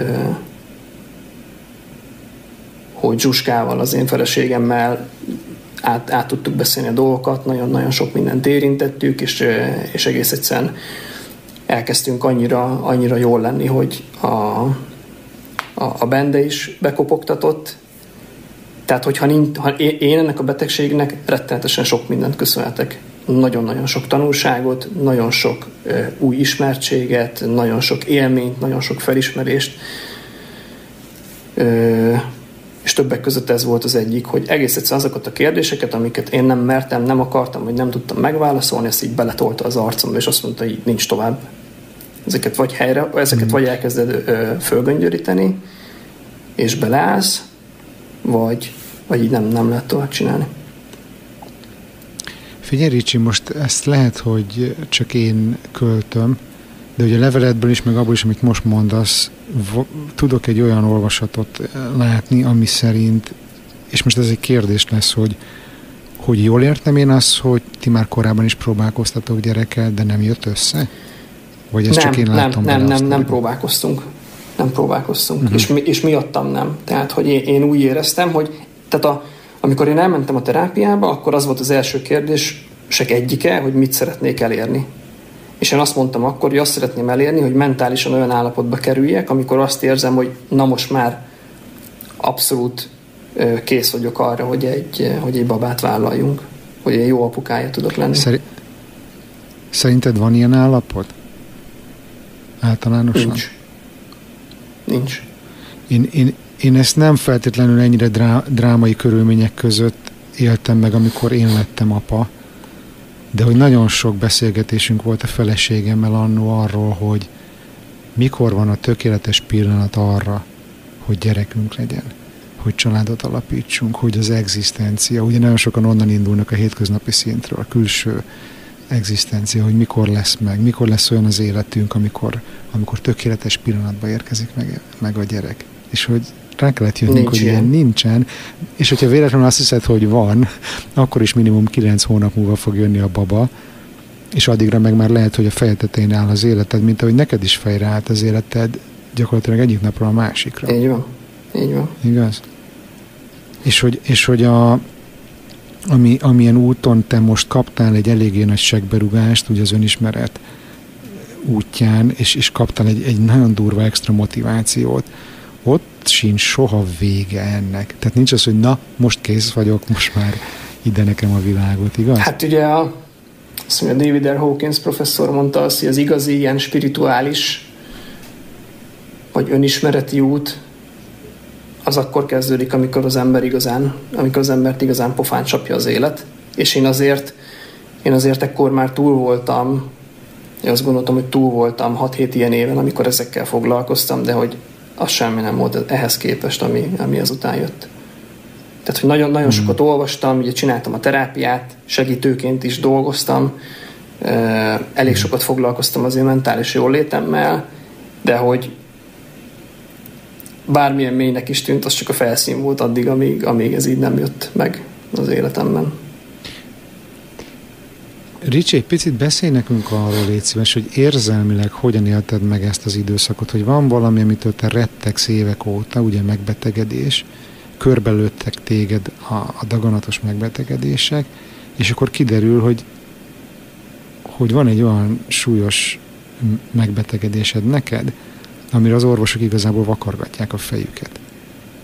Hogyan, hogy, hogyan hatott ez rád érzelmileg? Mi, mi volt ez az utazás, amin, amin, amin eddig végigmentél?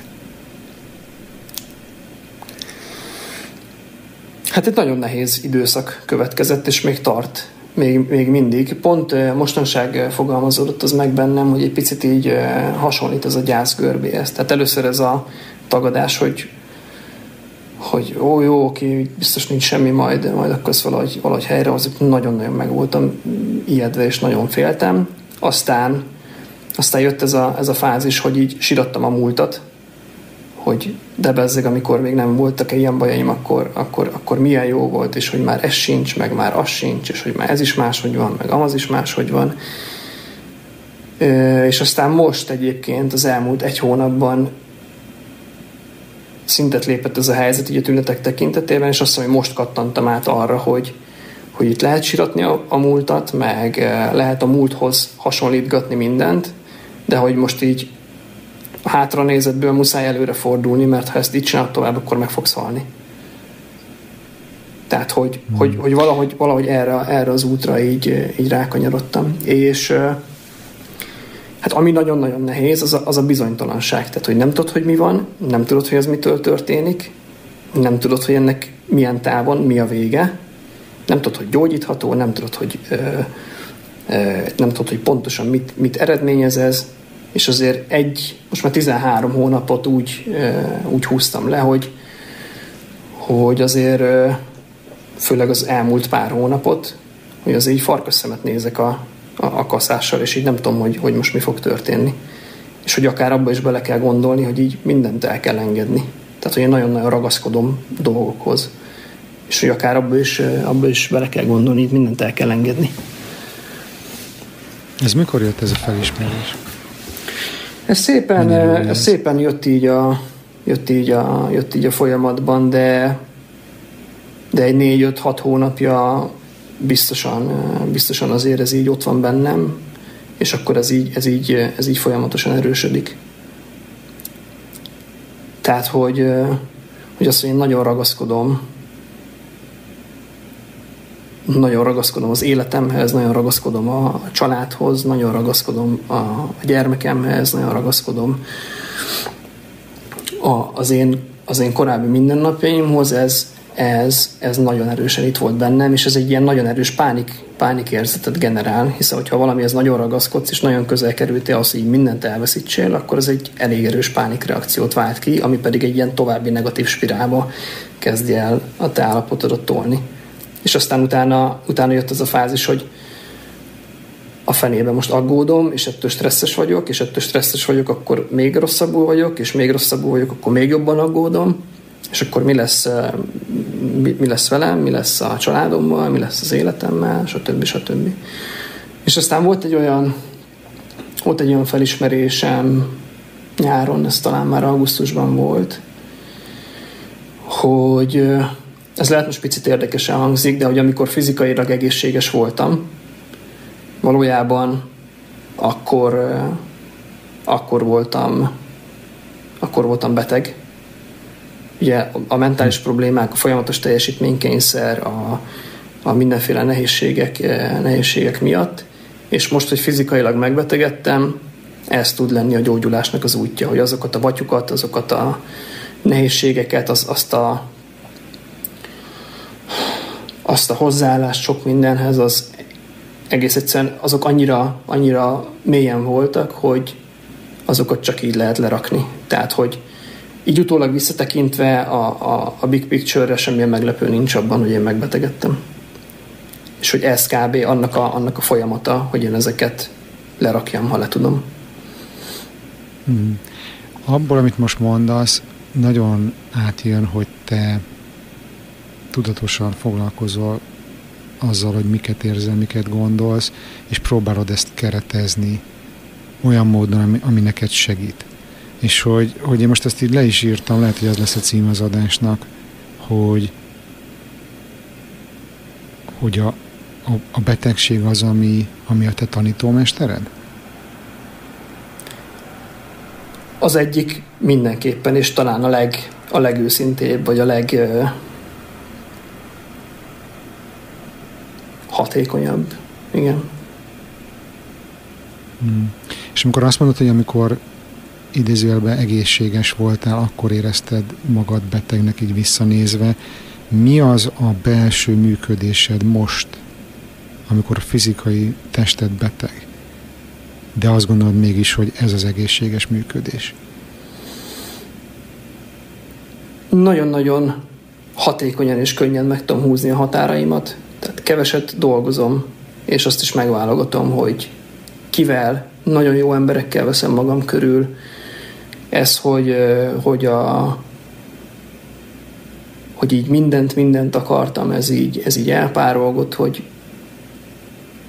szóval nem, nem szeretnék semmi, semmi nagyon nagy extrát az én életemben, szeretnék szépen nyugiban dolgozni, nem akarok most vállalkozást építeni, nem akarok a, nem akarok a világon minden helyet megnézni, hanem szépen nyugodtan akarok élni, szeretném látni a gyermekemet felnőni, szeretném őt segíteni abban, hogy egy, hogy egy gyönyörű élete legyen, és ennyi, amire, amire most vágyom.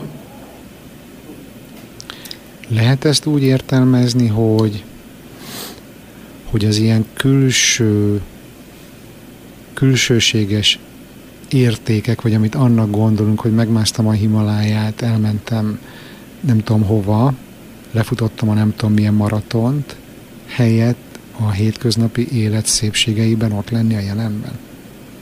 Azt hiszem, hogy azt hiszem, hogy igen.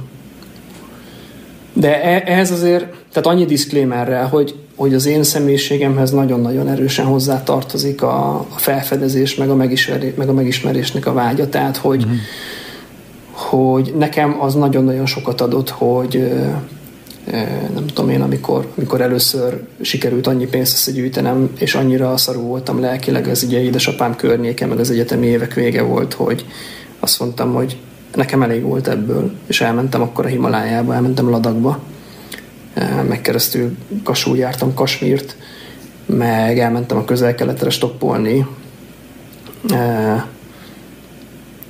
Izraelbe, meg bejártam a West Banket is így stoppal, meg később az indiai utazások, tehát ezek, ezek az én személyiségemhez, meg az én életemhez, meg az én világnézetemhez nagyon-nagyon sokat adtak hozzá. És egy nagyon, nagyon nyitott és nagyon elfogadó emberkévé tettek. De, de egyébként a mindennapi életnek a teljesítménykényszer az abszolút így elcsitult, vagy így, vagy így megszűnt. És ez persze tűnhet közhelynek, hogy persze nem azok a fontos dolgok, de amíg az ember így benne van, addig, addig ezt nehezen tudja, nehezen tudja felismerni. De hát ez a betegség ez segített. Hmm. Én még szeretnék veled beszélgetni a belső utazásaidról, amihez ugye el is utaztál Dél-Amerikába. Igen. De arra kérlek, hogy most egy nagyon rövid szünetet tartsunk, oké? Okay? Oké, okay. tartsunk. Jól van. É, meséld el nekünk légy szíves azt, hogy mikor volt az a pont, amikor a betegségedet egyre jobban kutatva, most majdnem azt mondtam, hogy megismerve, de nem feltétlenül, eljutottál arra a pontra, hogy most már a nyugati világban nem látsz elérhető megoldást, és valami alternatívához fordulsz. Erről mesél nekünk, Réci. Ez meg volt a kezdetektől már egyébként, mert hogy, mert hogy volt egy csomó ö, ismeretem, tapasztalatom ezzel kapcsolatban, ha nem is mély, de azért én a különböző csatangolásaim során a, a, a világban azért így találkoztam ezzel azzal. Tehát, hogy, hogy én még mielőtt a terápiába belevágtam, azelőtt is inkább, inkább kerestem a keleti világban az én, az én problémáimra a megoldást. Tehát akkor emlékszem, én elmentem Risikesbe jogázni, ott, ott voltak ilyen nagyon érdekes tapasztalatok, mint például a, nem tudom, a Himalája mélyében ilyen barlang meditációs session, meg, meg ekkor már én elég sokat meditáltam, elég sokat foglalkoztam az én mentális egészségemmel ilyen fronton, tehát én tudtam, hogy ennek a betegségnek, ha nem, ha nem is teljes egészében, de van egy nagyon-nagyon-nagyon erős mentális lába, amit hogyha, hogyha megnézzük a, a magyar állami or, orvoslást, akkor, akkor ez így nem játszik szerepet, vagy ez így nem igazán merül föl. Tehát, hogy, hogy holisztikusan nem igazán nézik ezt a képet. És, és ez az egész nyugati orvoslásra. Így van, és, és, ez nem egy, és ez nem egy ilyen, nem tudom én, pálcatörés ez az egész felett, hanem ez egy tény amit, amit, amit így fel lehet, egy kicsit fel lehet húzni magát az embernek, de hogy én azt láttam, hogy, hogy önmagában az, hogy én elmegyek egy neurológushoz, ő megnézi az én idegeimet, és megmondja, hogy hát igen, ezek károsodtak, ez, ez tök jó, meg nagy segítség, de, de én biztos voltam abban, hogy itt ebben egy óriási nagy lelki tényező van, hogy én, hogy én ide jutottam.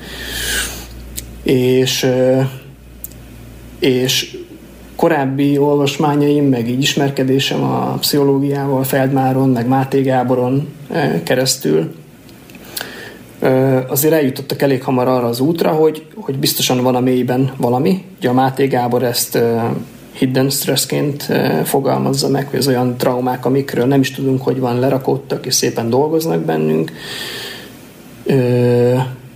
Ezek, ezek óriási nagy bajokat tudnak csinálni. Tehát ugye a Máté Gábor konkrétan azt csinálta, hogy olyan súlyos, többször gyógyíthatatlan vagy ritka betegségekben szenvedő emberekkel beszélgetett, akiknél nem, nem, ugye nyilván nem találták meg, hogy ez mitől van, tehát nem tudom én, a szklerózis, különböző daganatok, akár az ALS, és nagyon erős lelki mintázatot látott e mögött az emberek mögött.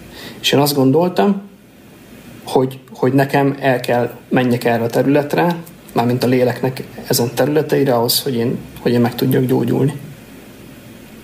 Mhm, és akkor ugye itt bejött a terápia, de azt mondtad, hogy a terápia nem jutatott el téged olyan mélységekbe, ahova te még szerettél volna eljutni, vagy nem tárt föl mindent, igaz? Egész egyszerűen a terápiában éreztem egy, éreztem egy akár, akár fizikailag is egy ilyen, egy ilyen magot itt belül, egy ilyen kemény valamit, amit egész egyszerűen akárhogy járok körül, akár a terápiával, akár a meditációval, akár imaginációval, ezt egész egyszerűen nem tudom áttörni, és én tudtam, hogy emögött, a mag mögött, vagy ez a felszín alatt biztosan vannak olyan dolgok, amik, ha nem is meggyógyítanak, de biztosan kell ahhoz, hogy én, hogy én meg tudjak gyógyulni. Ö, és korábban említettük már, hogy, hogy én nagyon szélsőséges helyzetekhez vagy elvekhez ragaszkodtam. Ebből az egyik az az volt, hogy soha semmilyen tudott módosító szert az alkoholon kívül nem próbáltam ki. Tehát én nem, nem szívtam el még egy füves cigit se. Viszont az is kezdett világossá válni, hogy ezek a, ezek a fajta élmények, vagy traumák, vagy, vagy ilyen stresszfaktorok, ezek valamilyen megváltozott tudatállapotban tudnak csak a felszínre, felszínre kerülni. És akkor én anélkül, hogy fejest ugrottam volna ebbe, elkezdtem így ismerkedni, ismerkedni ebbe, ezzel, a, ezzel a világgal. És, és bizonyos szempontból elkezdtem, elkezdtem kóstolgatni ezt. Elmentem egy, egy úgynevezett buddhista alaptanítások képzésre, ahol a meditációval egy picit jobban, jobban foglalkoztunk, akkor, akkor már ott ezek a transzállapotok, vagy transzállapottal kapcsolatos kérdések előkerültek, de nekem ugye semmilyen, semmilyen tapasztalatom nem volt ezekkel kapcsolatban. És e... Bocsánat, csak hogy, hogy ezt mondjuk be, hogy ez a transzállapot, ez gyakorlatilag egy módosult ez egy, ez egy módos, ez egy módosult nem... tudatállapot, igen, ahol egész egyszerűen máshogy, máshogy működik a, a, az ember és az embernek a lelke, és a felszínre tudnak jönni olyan dolgok, amik egyébként nem tudnak a felszínre jönni, vagy, vagy inkább azt mondom, tehát soha nem szeretnék általánosságban beszélni, úgyhogy ha ez így is van, akkor majd javíts ki kérlek, hogy nálam nem jöttek a felszínre. Jó?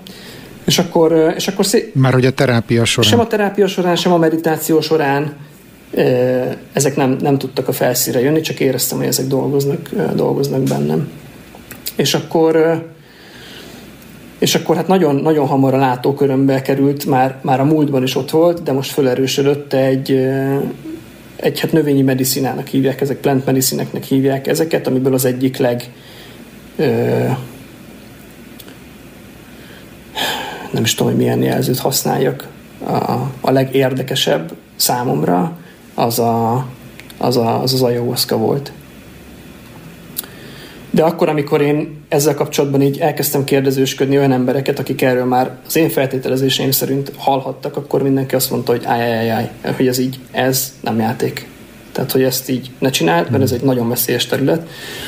És hogy bármiről is beszélünk majd itt, ezt nagyon-nagyon fontos elmondani, mindenkinek, mert szerintem ez egy nagyon fontos felelősségünk nekünk kettőnknek, hogyha hallgatják ezt az adást, és ezek a részek majd benne maradnak, hogy ez nem való mindenkinek, ez egy nagyon-nagyon veszélyes terület, amiben nagyon-nagyon komoly, komoly bajok tudnak történni. Úgyhogy, úgyhogy én... És egyáltalán nem ajánljuk ezt most, abszolút, hanem a Ricsi elmeséli a saját élményét, a saját történetét, amiből mi tanulunk, mindenki levonja maga következtetését, majd én is elmondom később, hogy én mit gondolok erről a területről, de de hogy én azt gondolom, hogy ez, ez, ez mindenképpen érdekes, és azt is tudni kell, hogy azért elég komoly kutatások folynak ma is a világban a, az ügyben, hogy módosult tudatállapotban például PTSD-t és egyéb korábbi traumákból származó gondokat sokkal hatékonyabban lehet, lehet-e kezelni, és itt nem csak a, a, a az ayahuasca és, és bocsánat, és más természetben megtalálható dolgok, hanem például MDMA-val is. Hát, vagy LSD-vel. Nagyon sok kísérlet van. Is.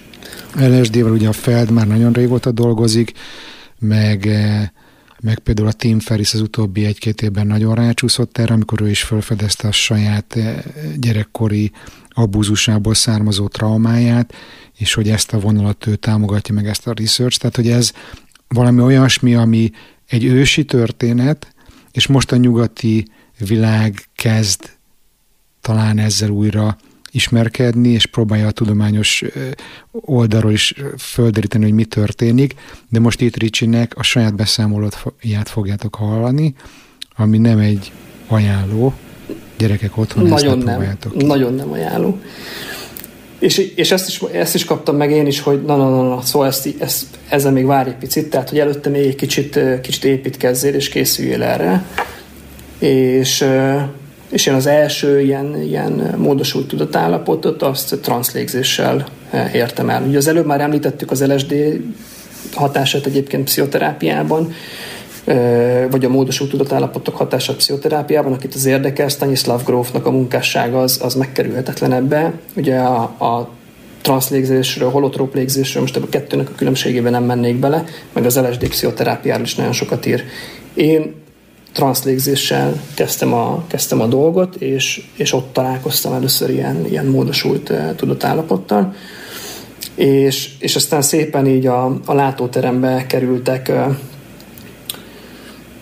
bármennyire is exotikusan hangzik, de hogy ezek azért, ezek azért elég, most már elég jól kutatott területek, és eléggé eléggé perspektívikus területek, a különböző sámáni, sámáni szertartások így a, a látókörömbe kerültek.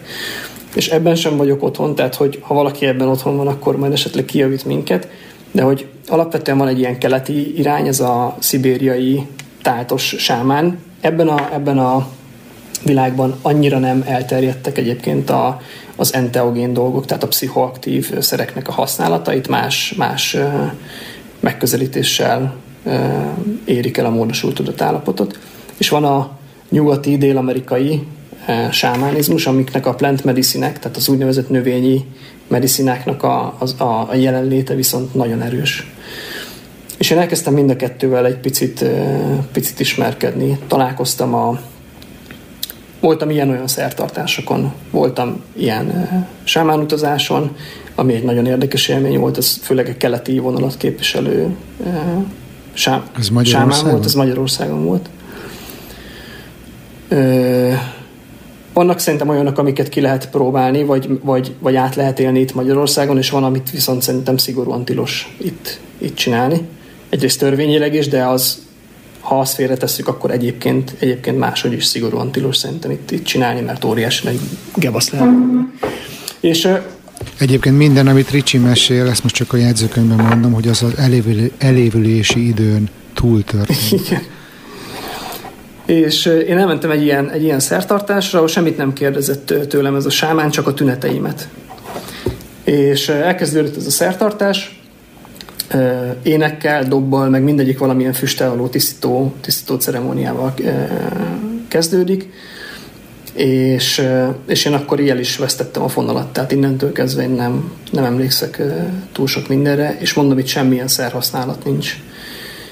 És egy jó fél óra, három óra múlva mondta a sámán, hogy akkor most vissza lehet jönni, és mondta, hogy akkor most mond néhány dolgot, amit ő látott vagy tapasztalt. És az egy, két, két kérdése volt, hogy történt-e az apai ágon a családban nem várt haláleset vagy öngyilkosság, és ugye nekem az apukám meghalt, nem igazán számítottunk rá, az ő apukája, tehát a, az én nagyapám pedig felakasztotta magát, és apám vágta le a kötérről, akkor egyébként túlélte. És akkor hát az én válaszom az volt, hogy hát ezek voltak csak igazán. és akkor ő azt mondta, hogy ő ennyit, ennyit látott, ezeken tud segíteni, és hogy, és hogy ő nem látja, itt több találkozóra szükség lenne. Ő ennyit, ennyit tudott segíteni. Tehát nem az volt, hogy jó, akkor ezen még dolgozni kell, hanem, hanem ő ezeket látta, ezekkel kezdett valamit. Ez, ez rád milyen hatással volt akkor? Mert hogy ezek valami olyasmi történetek, amiről te tudtál. Hát, Volt-e valami bármi változás ettől a szertartástól? Hát én alapvetően ezek, ezekre, a, ezekre a dolgokra nyitott vagyok.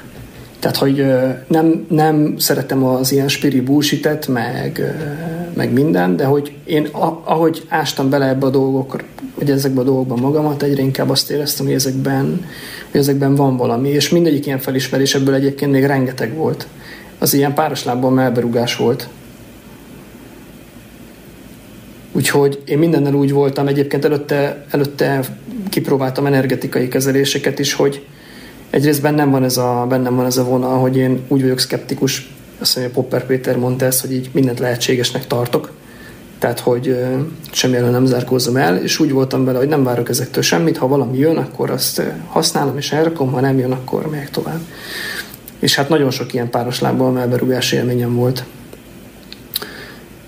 Ö, és akkor, és akkor ugye még mindig ott, ott volt az én látómezőmben a, egy ilyen dél-amerikai sámáni, sámáni szertartás, és nagyon-nagyon romlottak a tüneteim, ö, látszólag, látszólag nem, nem segítettek ezek a, ezek a próbálkozások. Ugye volt a meditáció, aztán később a transzlégzés, aztán volt egy ilyen sámáni utaztatás, volt más sámáni szertartás, és ebben most nem mennék, nem mennék bele, szintén, szintén elég, elég rázós terület. De ugye az ayahuasca az, az folyamatosan ott volt a, az, én, az én látóteremben. És akkor nyáron elérkezett, hogy visszablépek még párat. Elkezdtem akkor e- ezzel kicsit ismerkedni, hogy mi ez. Ugye elég sokat hallgattam Máté Gábort, hallgattam, olvastam. Feldmár is elég sokat beszél erről, talán még a, a Van élet a halál előtt című, című kis dokumentumfilmjében is. Dennis McKenna neve megkerülhetetlen ebben a témában. Elég sokat foglalkoztam vele, és az, és az arra jutottam, hogy hogy, hogy, ez, hogy ez segíthet. Ja, Máté Gábor úgy, úgy jutott el a, a, ezekhez a növényi medicinákhoz, hogy amikor megírta a Testlázadás a című könyvét, akkor ő azt mondja, hogy világ körül ilyen könyvben mutató úton volt, és nagyon sok helyen megkapta azt a kérdést, de ez, ez ugye már sok évvel ezelőtt volt, hogy na és mit gondol, ha már ilyen autoimmun meg mindenféle ritka betegségekről, mit gondol az ayahuaszkának a hatásáról? És hát akkor nem ismerte ezeket a Máté Gábor, azóta tudjuk, hogy van egy healing center Perúban, azt hiszem, ami ezzel foglalkozik. Mert hogy egész egyszerűen az volt a tapasztalata, hogy olyan dolgokat tud a felszínre hozni, olyan dolgokat csinál, hogy vannak olyan tapasztalások, hogy e, gyógyíthatatlan autoimmun betegségben szenvedő emberek egy sámáni szertartás után lerakják a szteroidot, és soha többet nem kell szedniük. És kutatják, kutatják, hogy ez mitől lehet, meg hogy lehet, de még és vannak, vannak már elég, eh, el, tehát elég sok tudományos kutatás van ezzel kapcsolatban. Na, long story short, így került az én látómezőmbe, nem javultak a tüneteim. Ricsi, Ricsi, bocs, itt csak egy pillanatra álljunk meg, jó? Egyrészt be fogom rakni a, az adásnaplóba azt a beszélgetést, ahol Tim Ferris Máté Gáborral egy olyan jó két órát beszélget az első felében a traumáról, a második felében pedig erről, és hogy nagyon érdekes látni, hogy egy orvos hogyan, hogyan nyilatkozik a történetről. Tényleg, akit érdekel a téma, szerintem az egy jó kezdés lehet ebben elmerülni. És mielőtt elkezded mesélni konkrétan az, hogy neked mi volt a tapasztalatod az ayahuasca szertartáson, én nekem az a kérdésem, és tényleg laikusként, és úgy, hogy nekem nincsenek ilyen tapasztalataim. Amiket én erről gondolok, nyilván olvastam már erről, meg, meg engem is érdekel a téma, de saját tapasztalat nélkül, amit én erről gondolok, az az, hogy, hogy van rengeteg olyan trauma, ami ugye miért, miért vannak a tudatalattunkban elnyomva e, élmények, traumatizáló élmények. Azért, hogy ne szenvedjünk tőle, azért, hogy, hogy, hogy ne kelljen vele nap mint nap foglalkoznunk. És hogy amit én erről gondolok, és nyilván megváltoztatható a véleményem, az az, hogy, hogy vannak olyan történetek a tudatalattinkban, amik azért vannak ott, mert nem vagyunk készek, nem vagyunk, nem állunk készen arra, hogy ezek az előtérbe kerüljenek, hogy nincsenek meg az eszközeink, az erősségünk ahhoz, hogy mi ezekkel megküzdjünk. Sőt, én még olyat is olvastam szakembertől, hogy, eh, hogy, hogy, hogy létezik az az élethelyzet, amikor a legjobb dolog, amit tehetünk, az az, hogy hagyjuk bizonyos traumákat elnyomva, tudatalattiba maradni élet, élete végéig a, a, a páciensnek. Tehát, hogy miközben engem baromira érdekel ez a, eh, ez a történet, nem merem kipróbálni, vagy eddig még nem mertem kipróbálni, és az egyik, vagy a félelmem az az, hogy mi van, hogy olyan dolgok jönnek elő, amire én még nem vagyok készen. És hogy nagyon megválogatnám azt, hogy milyen körülmények között veszek részt egy ilyen, eh, egy ilyen eh, szertartáson, és nekem azt hiszem, hogy az lenne a szempont, hogy legyen ott velem nyugati világban is képzett pszichiáter, vagy, vagy valamilyen szakember, aki amikor látja, hogy mit hozok föl a mélyből, akkor utána ott van nekem arra, hogy én azt utána egy egyéni munkában feldolgozzam. És én azért is félek ezektől a szertartásoktól, és ez nem fejtetlenül csak az ayahuasca, egyébként ezt például a terapeután még a családállításra is mondta, hogy aki, hogy oda mész, és följön valami, és hogy te mondtad, melberug, és utána, és utána mi van? Hát a melberugás az itt egy nagyon, nagyon gyenge megfogalmazás, tehát hogy ezek alatt össze lehet roppanni lelkileg. És hmm. ezek alatt tehát hmm. ténylegesen össze lehet, össze lehet omlani. Szóval ö, nekem, amikor én elkezdtem ezzel kapcsolatban ö, így érdeklődni, az volt a, a, az előfeltétel annak, hogy én, hogy én, hogy én részt vegyek ilyen szertartáson, hogy érzem. Tehát, hogy van egy érzés bennem, hogy itt most én biztonságban leszek, vagy itt oké okay lesz. És egyszerűbb lett volna Magyarországon elmenni, tehát hogy így mindenféle logisztikai szempontból, de egész egyszerűen nem éreztem azt, hogy, hogy ez itt oké. Okay. És erre mondtam, hogy szerintem tilos is ezt itt, ezt itt csinálni, mert egész egyszerűen a, a set és a setting, tehát hogy te mit viszel és milyen környezetben történik ez a ceremónia, az, az egész egyszerűen az alapja az egésznek. És hogyha ez nem oké, okay, ha ebben bármi, bármi kis gebasz csúszik, vagy egy picit is azt érzed, hogy nem vagy jó helyen, akkor óriási nagy gond, gond tud történni, szóval akkor abszolút nem szabad ezt csinálni. És én, én Peruban találtam egy olyan helyet, ahol így é, é, éreztem, hogy, hogy na itt ez oké okay tud lenni.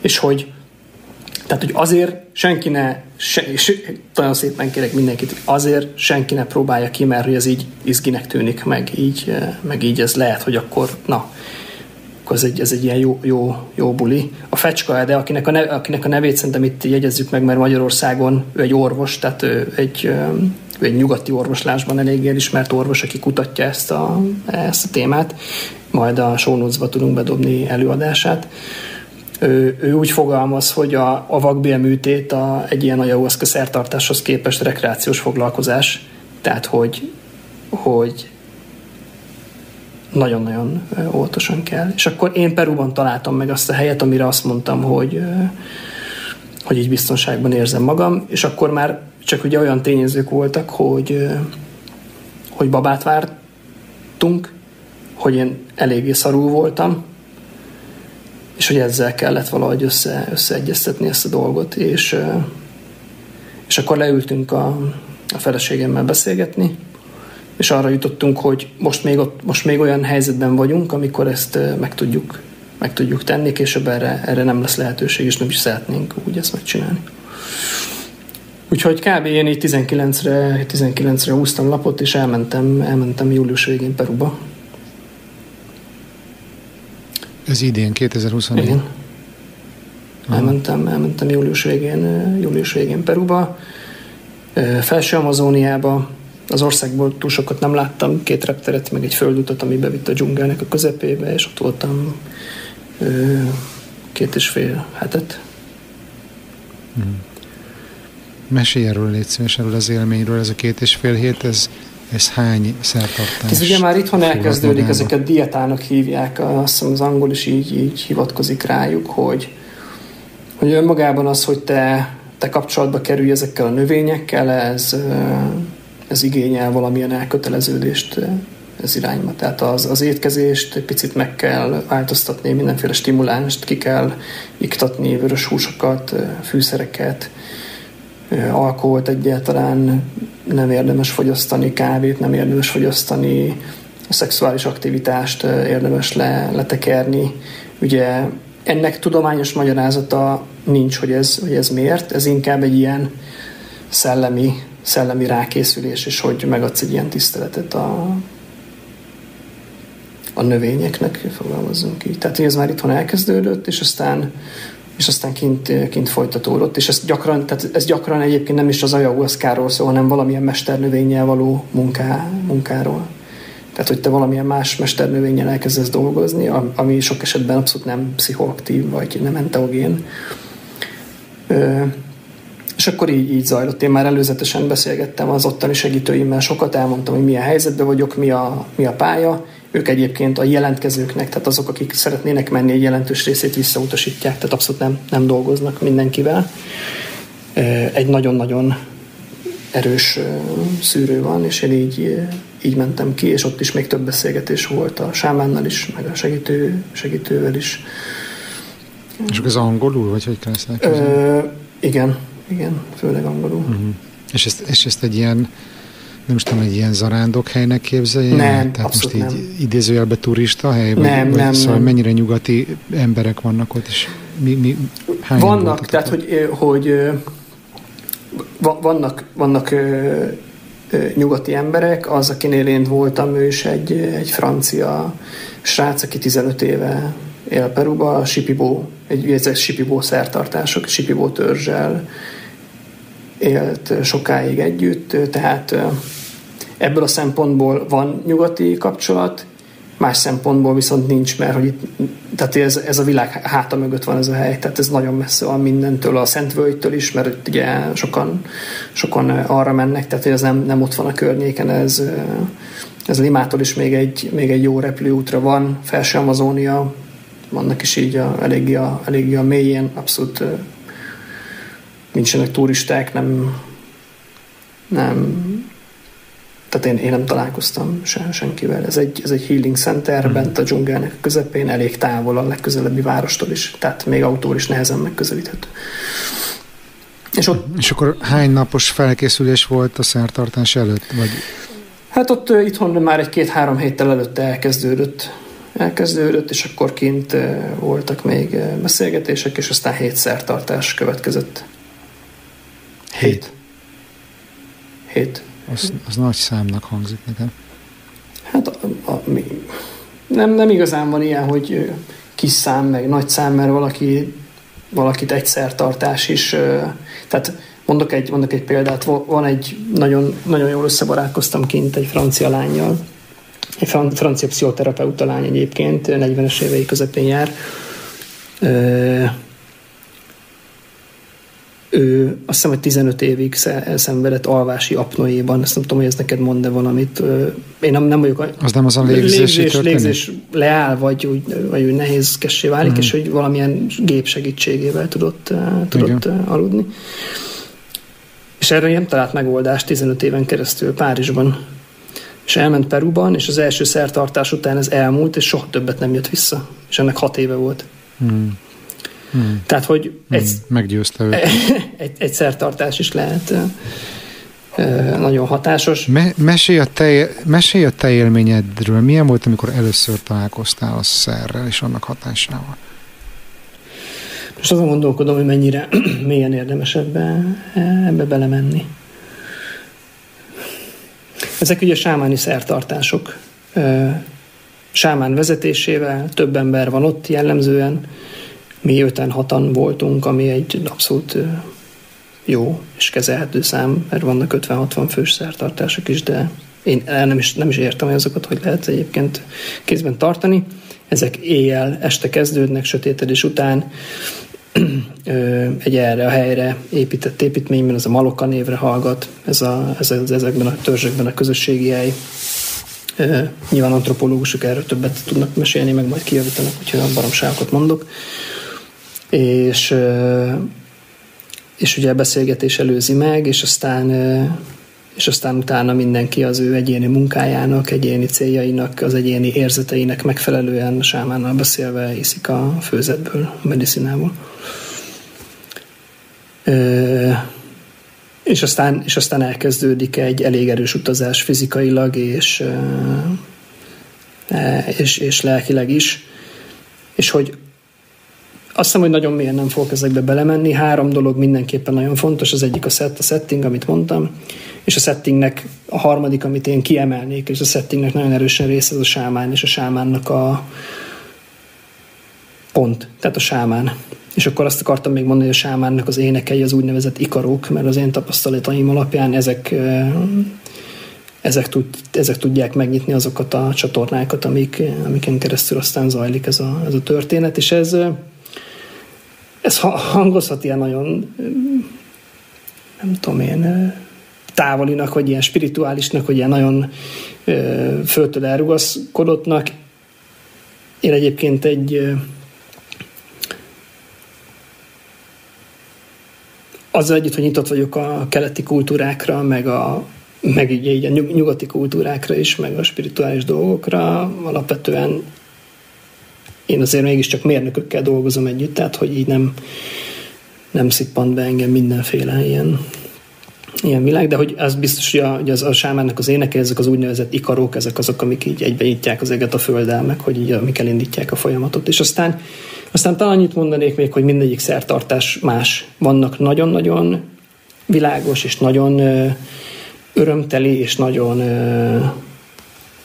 tényleg nagyon nagy magasságokba emelkedő szertartások is vannak, iszonyatosan mélybetoló szertartások, ahol, ahol halálhoz nagyon-nagyon közeli élményeket lehet átélni, vagy akár a halálnak az élményét is át lehet élni, és ezek, ezek egy elmondva könnyebbek. A szertartásokról túl sokat nem mesélnék, de talán az utózöngéiről csak, hogy, hogy aki, akinek nagyon meg... Ne haragudj, Ricsi, bocs, bocs, csak annyit még a szertartásról, hogy ez, hogy hét különböző szertartáson vettél részt, és különböző utazások voltak ezek, ez gyakorlatilag attól függ, hogy a sámán téged hova vezetett? Részben. Részben, tehát hogy ez mindig, mindig, mindig ilyen közös munka. Tehát nyilván van egy, van egy package, amit hozok én is, és egyébként visszautalva arra, amit mondtál, hogy, hogy nem biztos, hogy jó, ha olyan dolgok feljönnek, amire föl vagy készülve, ez abszolút igaz, és ezzel maximálisan, maximálisan egyetértek. Amire nem vagy felkészülve. Amire nem vagy felkészülve, igen. Uh-huh. Tehát ezzel maximálisan egyetértek. És ugyanakkor ebben az egész uh, környezetben van egy olyan, egy olyan elképzelés, vagy egy olyan mély hit, és ebben nekem is volt egy mély hitem, hogy a, a növények sem hoznak olyat a felszínre, tehát mindig annyit és olyat hoz a felszínre, amire fel vagy készülve. És ez csak akkor igaz, mm. hogyha egy olyan környezetben használod. Tehát ha ezt így mm. barátokkal, vagy, vagy bármilyen olyan környezetben nem vagy biztonságos csinálod, akkor nagyon könnyen ebből nagyon súlyos fizikai és mentális problémák tudnak, tudnak kisülni. Úgyhogy, úgyhogy részben az, amit én hoztam, és részben az, amit a, amit a sámán látott és adott nekem, és, és, és irányított az énekeivel, tehát hogy ez egy, ez egy nagyon, nagyon erős tapasztalás, hogy, hogy amikor igazán mélyre kerül az ember, akkor nagyon bepánikol, ez egy ilyen közös jellemzője ezeknek a szertartásoknak, iszonyatosan durva halálfélelem és pánik eh, tör rá az emberre, és ki akar menekülni ebből az egészből. És ha ez a spirál elindul, akkor a hatás az annál inkább erősödik. És hogy aki volt már ilyen, az tudja, hogy ezt egy módon lehet e, túlélni, hogyha leülsz a sámán elé, vagy ő leül elé, ha te nem tudsz mozogni, és énekel neked. És ezekkel az ikarokkal szépen egyengeti a te utadat, ami néha egy mosógép, tehát néha iszonyatosan mélyre mész, és nagyon-nagyon-nagyon ijesztő.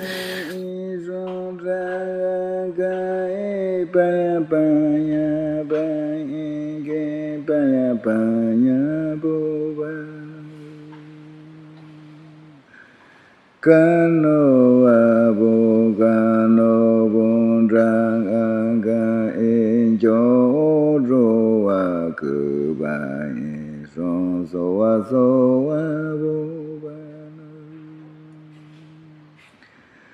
so wa so wa bo ke ya ma ra no ga ya ga so bo ba no yo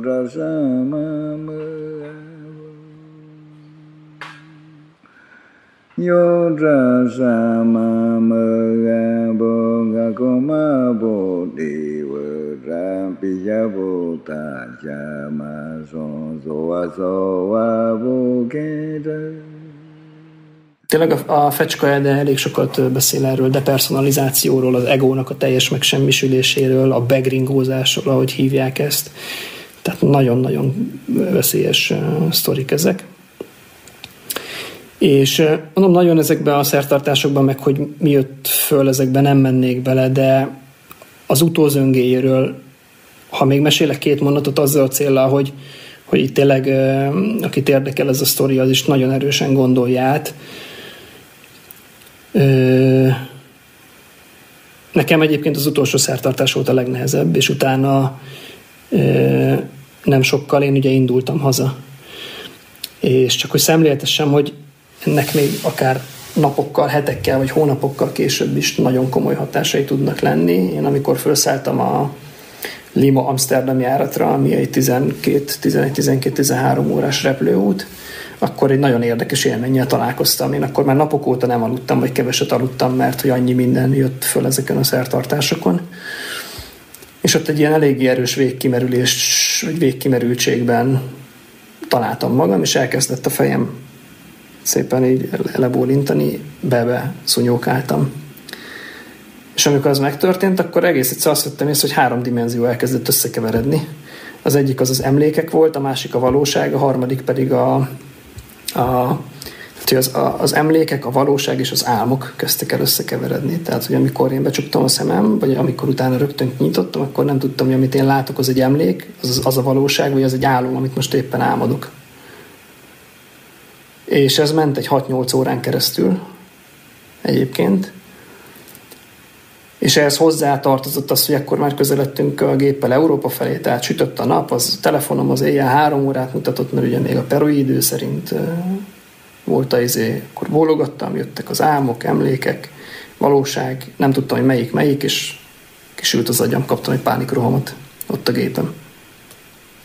Hmm. És az mennyire tudtad magad megoldani, vagy mennyire kellett ott segítséget kérni? Hát magamnak kellett megoldani, mert ez ugye még tehát, hogy körülöttem mindenki aludt, és a sztyújik is, és a sztyújik is aludtak, és előtte való este nekem volt egy ehhez, egy ennél sokkal durva, egy ehhez nagyon hasonló, de sokkal durvább élményem még az egyik szertartáson, ahol egész egyszerűen eljutottam egy olyan pontra, hogy itt most vagy valahogy a légzéssel, a, a a, koncentrációval, a nyugalommal kihozom magam ebből a történetből, vagy megőrülök, vagy meghalok. És amikor ez, nekem egyébként nem volt még pánikrohamom előtte soha, és amikor ez így becsapott ott a replőn, akkor először nagyon megijedtem. Ö, és akkor, és akkor és akkor volt annyi lélek jelenlétem, ugye elkezdtem kimászni, de körülöttem aludt mindenki, tehát nem, nem találtam senkit, hogy oké, okay, most ezt vagy megoldom ezt a helyzetet, vagy megint óriási nagy galibába kerülök. És hogy annyi, annyi lélek jelenlétem volt, hogy a fülesemet ledobtam a, a fejemről, mert azt gondoltam, hogy azt mondja, Red Hot Chili Pepper szólt akkor, hogy ez nem fog segíteni. És hogy elkezdtem a légzésemre nagyon erősen figyelni. Nekem ezzel korábban volt már tapasztalatom így, így a, a jogán, meg a pránajámán keresztül, és akkor a légzéssel szépen, szépen ki, kihúztam magam ebből a folyamatból, és akkor ez így elcsendesült.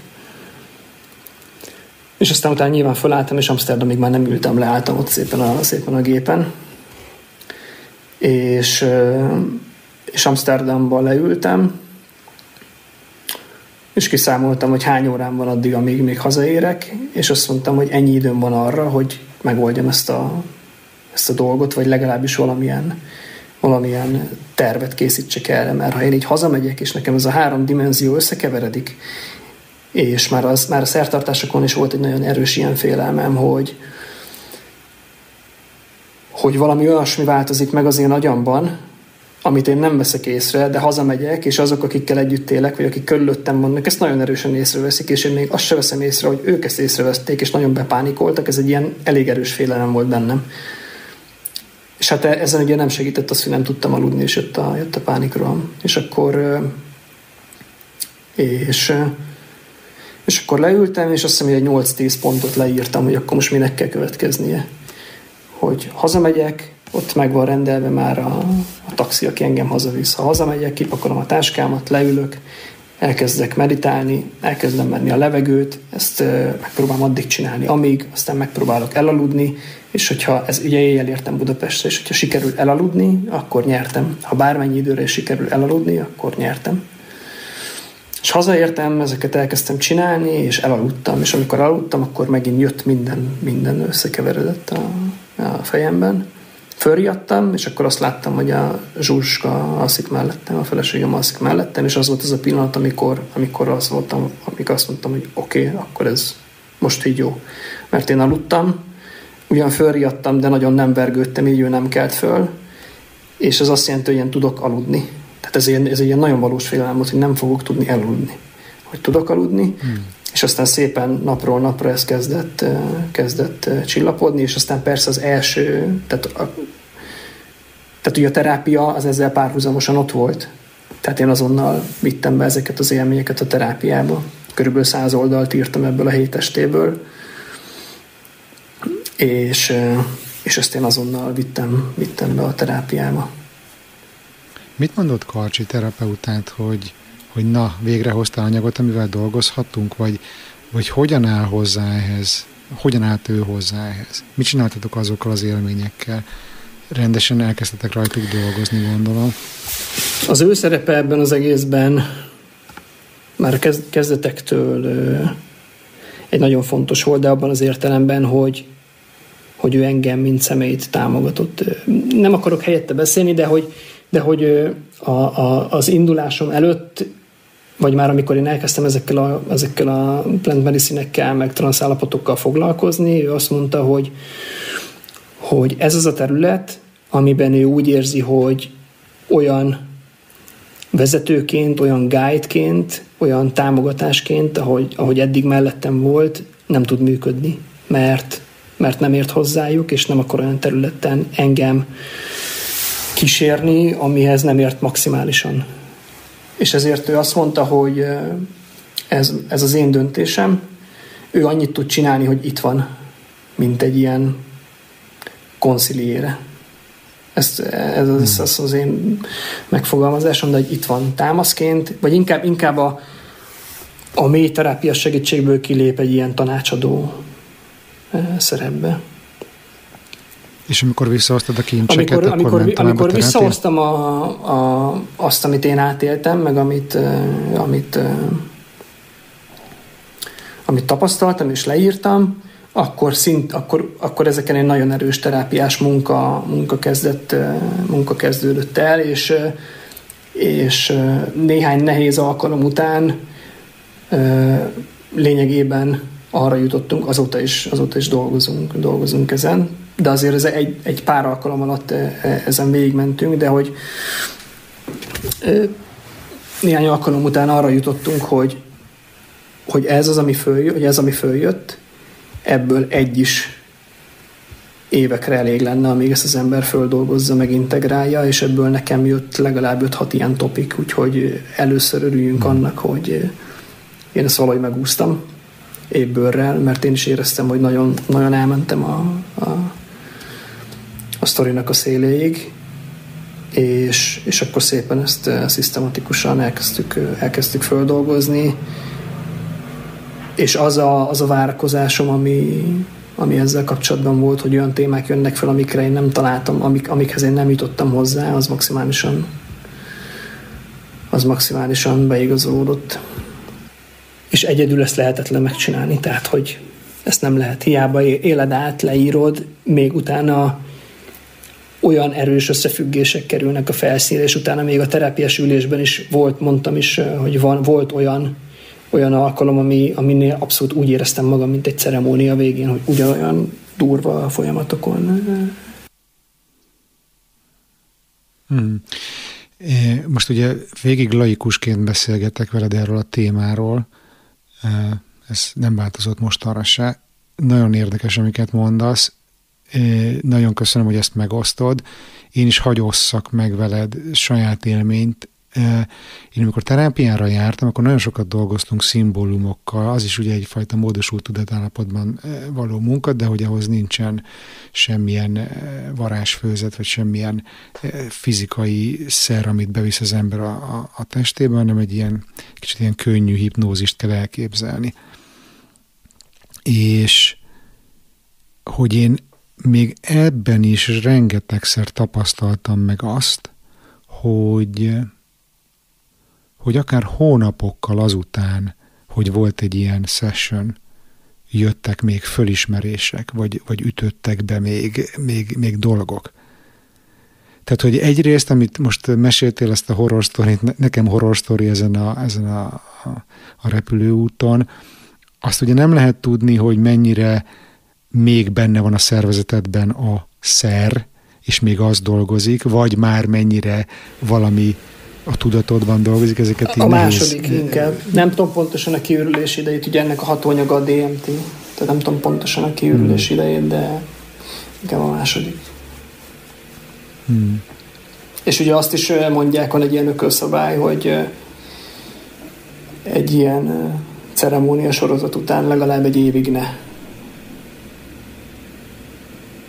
Ne nyúlj ilyesmihez. Hmm. Amit mondtál korábban, hogy, hogy bármennyire is dolgoztál a terápiában, és, és mindenféle egyéb módszerekkel az önismereteden magadon, hogy ott volt középen valami kemény mag, amit így nem tudtál feltörni, hogy az, az, azt így sikerült feltörni? Hát az szétrobbant konkrétan. Igen, tehát ebben olyan kérdések voltak, amikre én nem találtam a választ, akár hogy kerestem, vagy azért, mert nem mertem ezzel szembenézni, vagy azért, mert nem találtam, és hogy ezek így szertartásról szertartásra, akár képszerűen jöttek ezekre a kérdésekre a válaszok. Tehát, hogy, uh-huh. hogy so, er, er, erről sokan beszáll, tehát nagyon-nagyon sok érdekesség van a növényekkel való munkával kapcsolatban, de erről sokan beszámolnak, hogy például egy ilyen egy ilyen módosult tudatállapotban abszolút egy entitásként jelenik meg a növény, és abszolút, ráadásul az ayahuasca egy női entitásként jelenik meg, akivel párbeszédet tud folytatni az ember. Nálam ez ennyire erősen nem volt, de ugye ezeknél a szertartásoknál nagyon, nagyon fontos, hogy legyen egy ilyen egy, egy kérdés, vagy egy szándék, amivel te mész és hogy azon, azon tud segíteni dolgozni, és és volt, amikor kérdéssel mentem, volt, amikor csak úgy mentem, hogy akkor én most hátradőlök, mert egész egyszerűen ki van sülve az agyam, és hogy így vigyél, ahova akarsz, és hogy, és hogy abszolút ezek, ezek, ami ott volt lent, az maximálisan feljött, és olyan is, ami, aminek így a gondolati síkon az ezt megelőző években a közelében nem jártam. Közelében nem jártam. Mm, tehát még a kérdésre tett abszolút, föl, de jött abszolút. a mm. jött egyszer csak egy mm. olyasmi, olyasminek kell ezt elképzelni, hogyha én nagyon képszerű akarnék lenni, hogy van egy puzzle amiből neked, amiről azt gondolod, hogy ez egy 500 darabos puzzle, és akkor te azt rakosgatod a terápiával, a, a munkával magadon, stb. stb. És akkor egyszer csak így kiderül, hogy ez egy 4000 darabos puzzle, és össze is ugrik egy pillanatra egy képé. És, és hát ezt, ezt azért nehéz. Ez nehéz. És akkor mondom, vannak nagyon pozitív, és nagyon-nagyon, nem azt mondom, hogy negatív, hanem máshogy pozitív, tehát nagyon nehéz, nagyon nehéz élmények itt. Úgyhogy na, Most ez a történet... Úgyhogy nagyjából így, így, így zajlott ez a, Aha. a sztori. Aha. Figyelj, Ricsi, hogy ez most akkor, ha jól számolom, ez ilyen négy-öt hónappal ezelőtt. Hát én augusztus közepén ugye? jöttem haza, igen. És most november vége van. Érzel-e valami változást? Hogyan alakul például a betegséged? Hogyan alakul az életed? Mi az, ami változást ennek a, az utazásnak tulajdonítasz? Hát egyrészt nagyon-nagyon sok változást hozott az életembe, a mindennapi működésembe, a gondolkodásomba, ahhoz, hogy, hogy azok a terhek lekerültek a vállamról, amiket én így kicsit hajszoltam, hogy ezekre a kérdésekre kell a válasz, kell a válasz, mert ezek nélkül nincs, nincs gyógyulás. Szóval én azt mondom, hogy ez egy nagyon fontos építőkockája volt a, a gyógyuláshoz vezető útnak, ha lesz ilyen, ezt most még nem tudjuk, mert nyakig benne vagyok. A tüneteim, csak hogy válaszoljak, ezek romlanak még a, még a, még a mai napig. De, de az biztos, hogy egy ilyen nagyon erős teher az lekerült a vállamról, nagyon sok stressz, trauma az felszakadt, és aztán az utána való terápiás munkának köszönhetően meg, megintegrálódott is, amennyire integrálódni tud. És, és na, nagyon-nagyon kellett ez nekem az utána való léthez. És volt egy ilyen, nekem is volt tudod titkon egy ilyen elvárásom, amiről én is olvastam, meg hallottam, meg személyesen is találkoztam olyan emberrel, akinek megvolt az az élmény, hogy egy komoly betegség néhány szertartás után elmúlik, ez nálam nem következett be, és, és oké okay vagyok ezzel. És oké okay vagyok ezzel. Én nagyon sokat táplálkozom ma is abból, amit átéltem, meg amit, meg amit írtam így most már friss, frissen kinevezett apukaként is. Hmm. Itt a végén, Ricsi, még azt mindenképpen meg kell kérdeznem, hogy hogy mit tanultál az elmúlt egy-másfél évben magadról, az életről? Mi az, ahol most tartasz? Milyen tanulságokat vontál le eddig, amit megosztanál velünk? Fú, hát ez egy nehéz kérdés, mert szóval néha megkapom azt a kérdést, hogy ezzel együtt is, hogy a, amit te csináltál, az egy ilyen betegséghez vezetett. Ha ez vezetett oda, csinálnál-e másként bármit? Azt mondanám, hogy nem és már pedig azért nem, mert nem tudnék. Tehát, hogy az embernek mindig vannak külső és belső lehetőségei. A külső lehetőség, ami körülötte van, a belső lehetőség az, ami benne van.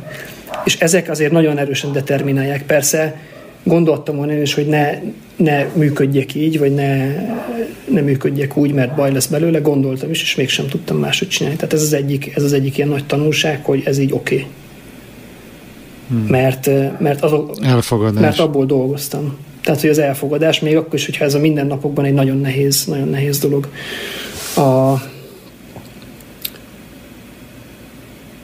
a másik ilyen, ilyen nagy tanulság, hogy, hogy lehet görgetni dolgokat magam előtt, lehet görgetni beszélgetéseket, vagy megoldatlan, megoldatlan problémákat, lehet elfolytani dolgokat, de ezek előbb-utóbb a felszínre jönnek. Minél tovább folytja el az ember, annál durvábban jönnek a felszínre.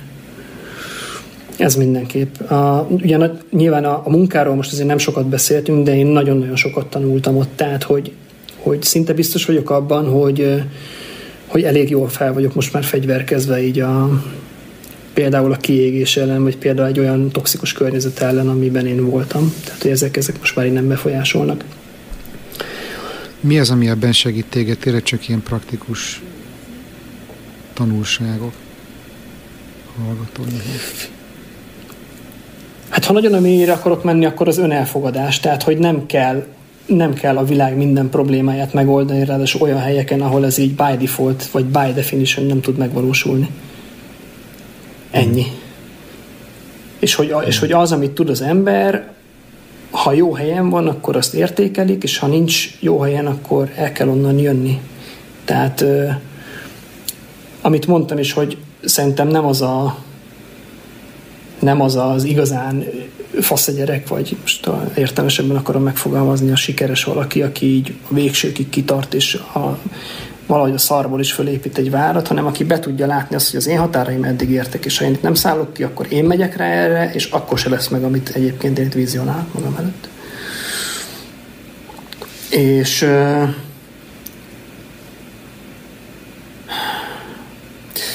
még mindenképpen egy nagy, nagy, nagy tanulság,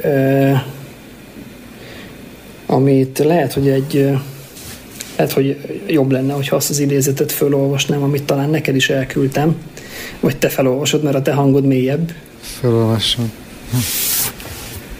És egyébként előbb, amikor mondtad ezt a külső meg a belső lehetőséget, azért mosolyogtam, mert nekem is Popper Péter volt az, aki elindította ezen az önismereti úton, vagy az érdeklődésem a pszichológia iránt, és ugyanígy ebben a belső utak könyvében írt erről is, szerintem, Igen. vagy az emlékeim szerint ez nem tudom melyik könyvben volt, Popper Péter mesélt egy Pilinszkivel való beszélgetésről. A katolikus költő megjegyezte. Utállak benneteket pszível kezdődő foglalkozásúakat. Miért utálsz János? Mert nagyon nagy terheket raktok az emberekre. Azt hirdetitek, hogy minden emberi problémának van megoldása. Ezzel sikerült elérnetek, hogy az emberek többsége úgy érzi, csak ő olyan hülye, hogy nem tudja megoldani a szexuális problémáit, a szüleivel való viszonyát, a, házas, a házasságát, az egzisztenciális ügyeit, a politikai orientációját, stb., és ezért összeomlik. A valóságban, mondta Pilinszki, az élet dolgainak többsége nem megoldható. Legfeljebb jól, rosszul elviselhető. Óriási a különbség közöttünk. Ti úgy gondoljátok, hogy az életben problémák vannak, és megoldásokra van szükség. Én meg úgy gondolom, hogy az életben tragédiák vannak, és irgalomra van szükség. Szíven döffe tántorogtam ki Pilinszkitől. Hát ez, ez egy nagy tanulság nekem, amit én nem tudtam volna ennyire jól megfogalmazni, és ebben a, ezt én abszolút a terápiának köszönhetem, hogy ezt most így meg tudom fogalmazni. És azóta is hmm. már volt olyan, amikor azt éreztem, például a kisfiam születése után volt egy kis, volt egy kis kalamajka, ő bekerült az intenzív osztályra, és ott volt majdnem másfél hétig, és akkor, akkor az első gondolatom az volt, hogy hát így passzus folytatódik a sor minta. Tehát, hogy, hogy még egy újabb adag ilyen szar, ami, ami ránk ömlik. És most erre az egészre úgy tekintek, mint egy ilyen nagyon sebes fodr, sodrású folyóra. Tehát, hogy a betegségre is az, ami utána történt, és az, ami a kisfiam születése környékén történt, hogy, hogy ez, ez most már valami olyan, ami, ami jól láthatóan rajtam túlmutat az én képességeimen, szellemi, fizikai felkészültségemen valamilyen szinten biztosan túlmutat, ezért nem tudok más csinálni, ha kapálózok ebbe a folyóba, akkor valószínűleg bele fogok fulladni. Ha nem kapálózok, és megpróbálom ezzel a gondolattal megközelíteni, amit felolvastál, akkor van esély, hogy valahol a partra dob. És én ebben, ebben bízom. Tehát, hogy ez, ez, ez egy hmm. nagy tanulság nekem. Hmm. De itt már igazából sorsról, meg karmáról beszélgetünk, vagy akár Istenről, nem? Hát Nekem még van időm, beszélgethetünk erről egy picit, mert vannak ezzel kapcsolatban kérdéseim, meg gondolataim. Nálam föl, fölmerültek olyan potenciális betegségek, amik, amik nagyon súlyosak és gyógyíthatatlanok, ami azt jelenti, hogy nem gyógyult még meg belőle ember. Soha. És én eléggé az az ember vagyok, aki így keresi ezeket a kérdéseket, hogy de akkor, akkor ennek mi értelme van? Hogy semmi? Megkapod ezt a betegséget, meghalsz, puff, és akkor a te és akkor az evolúcióban te, te ezt a szerepet játszottad, hogy akkor hát, ha majd nem lesznek ilyen betegségek. És hogy ennek mi értelme van, tehát, hogy ha nem lehet belőle meggyógyulni, ha egész egyszerűen úgy mész tönkre, hogy egy a testedbe zárt lélek leszel, mert fizikailag tönkre mész, szellemileg épp maradsz, akkor ennek mi értelme van és nagyon-nagyon hosszas gondolkodás után egy darab választ találtam, amire azt tudom mondani, hogy hát ez áll legközelebb ahhoz, amit én el tudok képzelni. Ez is talán Poppernek valamelyik Indiával kapcsolatos könyvében volt, aki azt mondta, hogy, hogy Indiában van egy olyan, egy olyan nem tudom, megközelítés a családokban, hogyha ha születik egy gyerek, akinek, aki valamiért nem tudom én, megváltozott tudom én, tehát hogy valamilyen sérül, sérüléssel születik, és úgy kell az életét eh, leélnie ugye hátrányos, hátrányos helyzetüként, akkor ők azt egy óriási nagy tisztelettel és, eh, és szeretettel fogadják, mert azt mondták, hogy ez az, hogy ők egyébként szolgálják ezt az embert, akinek a támogatásra van szükségük, meg az, hogy ő leéli ezt az életet, ez mindenki karmájának egy nagyon jó, nagyon jó történet, és ezzel szolgálják meg a következő életnek a, a, a dolgait. És persze lehet erre azt mondani, hogy hát jaj, jaj de hát ez hülyeség. Nem bizonyította még senki az ellenkezőjét, szóval én, én ezt, ezt találtam.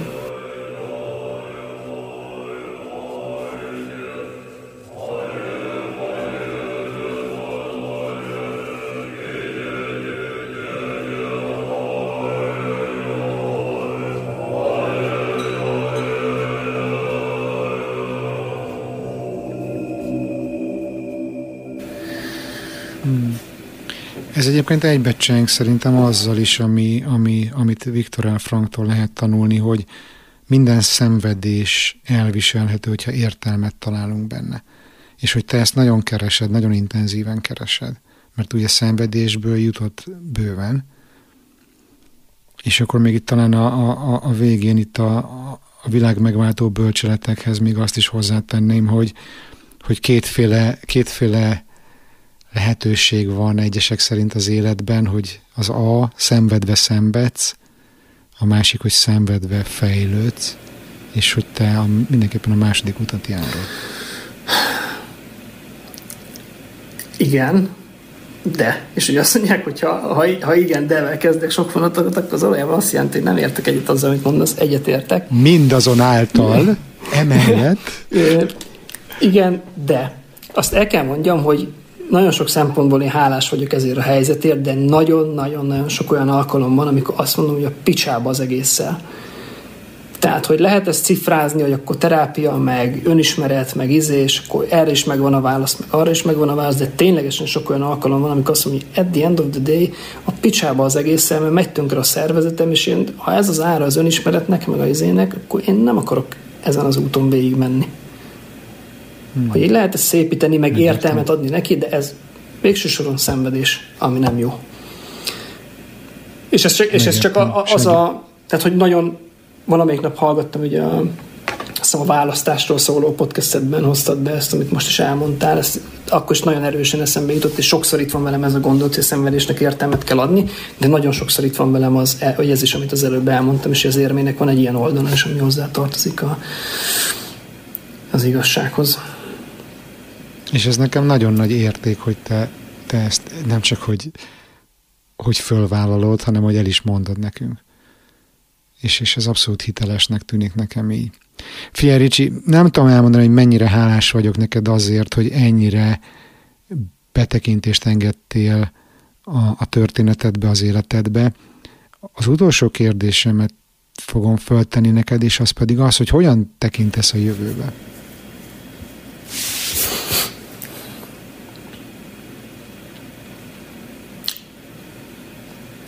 Hát van bizakodással, bizakodással, meg kíváncsisággal. Azt, azt el, kell, el kell, hogy mondjam, mert az igazsághoz ez is hozzá tartozik, hogy a, a nyugati orvoslásnak az utolsó intézménye szerintem, ahol én nem jártam, az, úgynevezett ritka betegségek intézete, és a felvételhez képest, tehát most van hétfő, én csütörtökön megyek ide, eddig ennek ellenálltam, és azt mondtam, hogy én nem akarom, hogy valamire, amiről nem tudjuk, hogy mi ráfogjuk, hogy hát ettől is lehet, meg attól is lehet, mert az olyan lelki teher, amit én nem akarok elviselni, nem akarok cipelni, de ide elmegyek. És úgy vagyok vele, hogy jöjjön, aminek jönnie kell. Tehát ha valami önderül ki, ami akár azt jelenti, hogy vége a sztorinak, akkor most már kész vagyok arra, hogy ez kiderüljön. De egyébként nagyon bizakodással tekintek erre a, erre a történetre. Amikor, a, amikor az én kisfiam született, és ugye mondtam, hogy ő elég, egy, né, néhány napot elég nehéz helyzetben volt, akkor én úgy voltam vele, hogy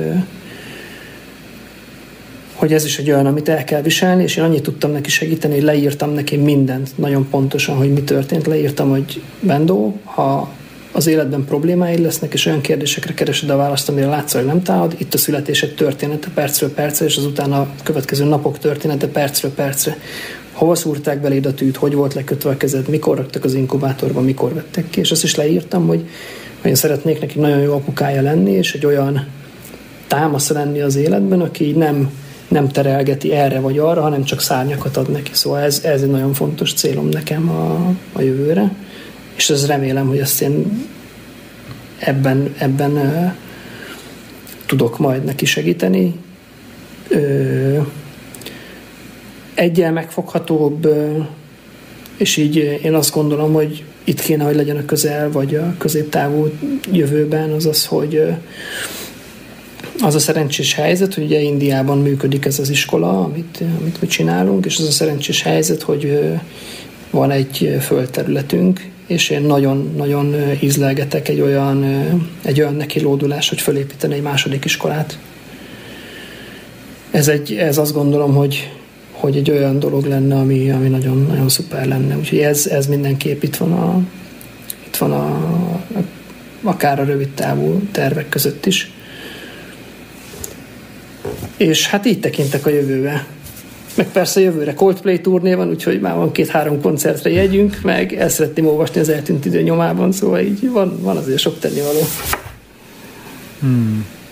Figyelj, én, én jó egészséget és gyógyulást kívánok neked ezekhez, a tervekhez, és bár azt ígértem, hogy a előző volt az utolsó kérdésem, de hát ha még valakinek a hallgatók közül furdalja az oldalát a kíváncsiság, hogy az elején megígértem, hogy majd még ezt megkérdezem, hogy miért nem nevezed már magad coachnak?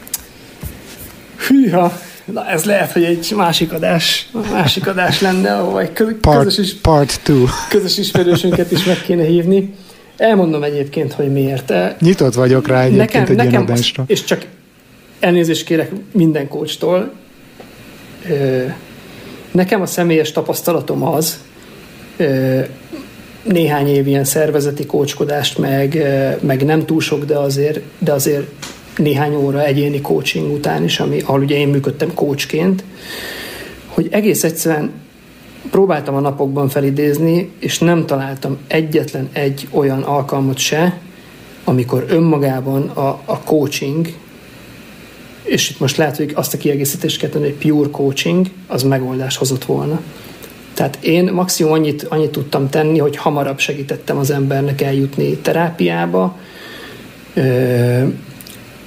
vagy hamarabb segítettem egy olyan inkább amit te ilyen hibrid megoldásnak hívsz, egy ilyen tanácsadás, tréning irányba eljutatni az embert, de önmagában abban, hogy, abban, hogy coaching, én hát nem hiszek, fogalmazhatunk így is. Mondom ezt úgy, hogy pár évig dolgoztam így meg. A hatás, a hatás hiánya miatt. Szerintem más, és ez tényleg már, már messzire mutat. Én egész egyszerűen nekem nincs olyan személyes élményem, hogy valaki a coachingban ne hozott volna be olyat, ami abszolút terápiáért kiállt.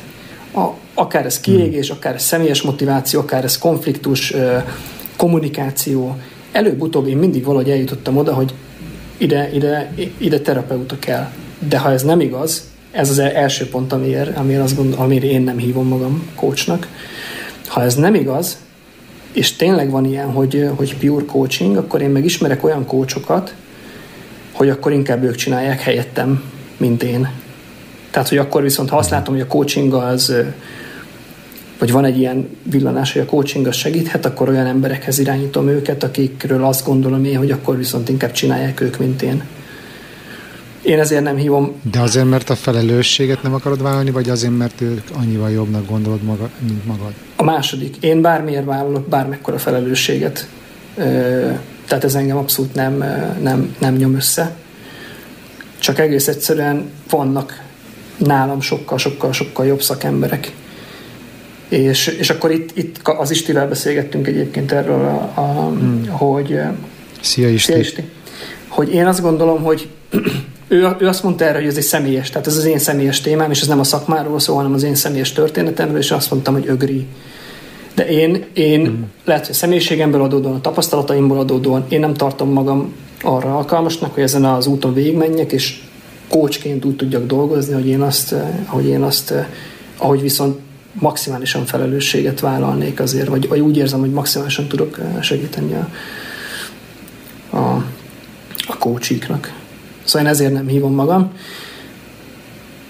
És még van egy olyan, és még van egy lazán kapcsolódó olvasata a sztorinak.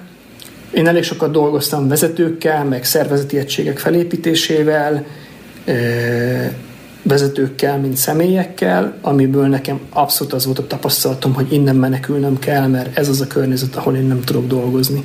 És én a szervezetben minél, minél, minél, minél lejjebb vagyok, annál jobban érzem magam. Tehát ha konkrétan egy, egy-két emberrel vagy csapattal tudok foglalkozni, és egy nagyon erős termékfókusszal, akkor oké. Okay.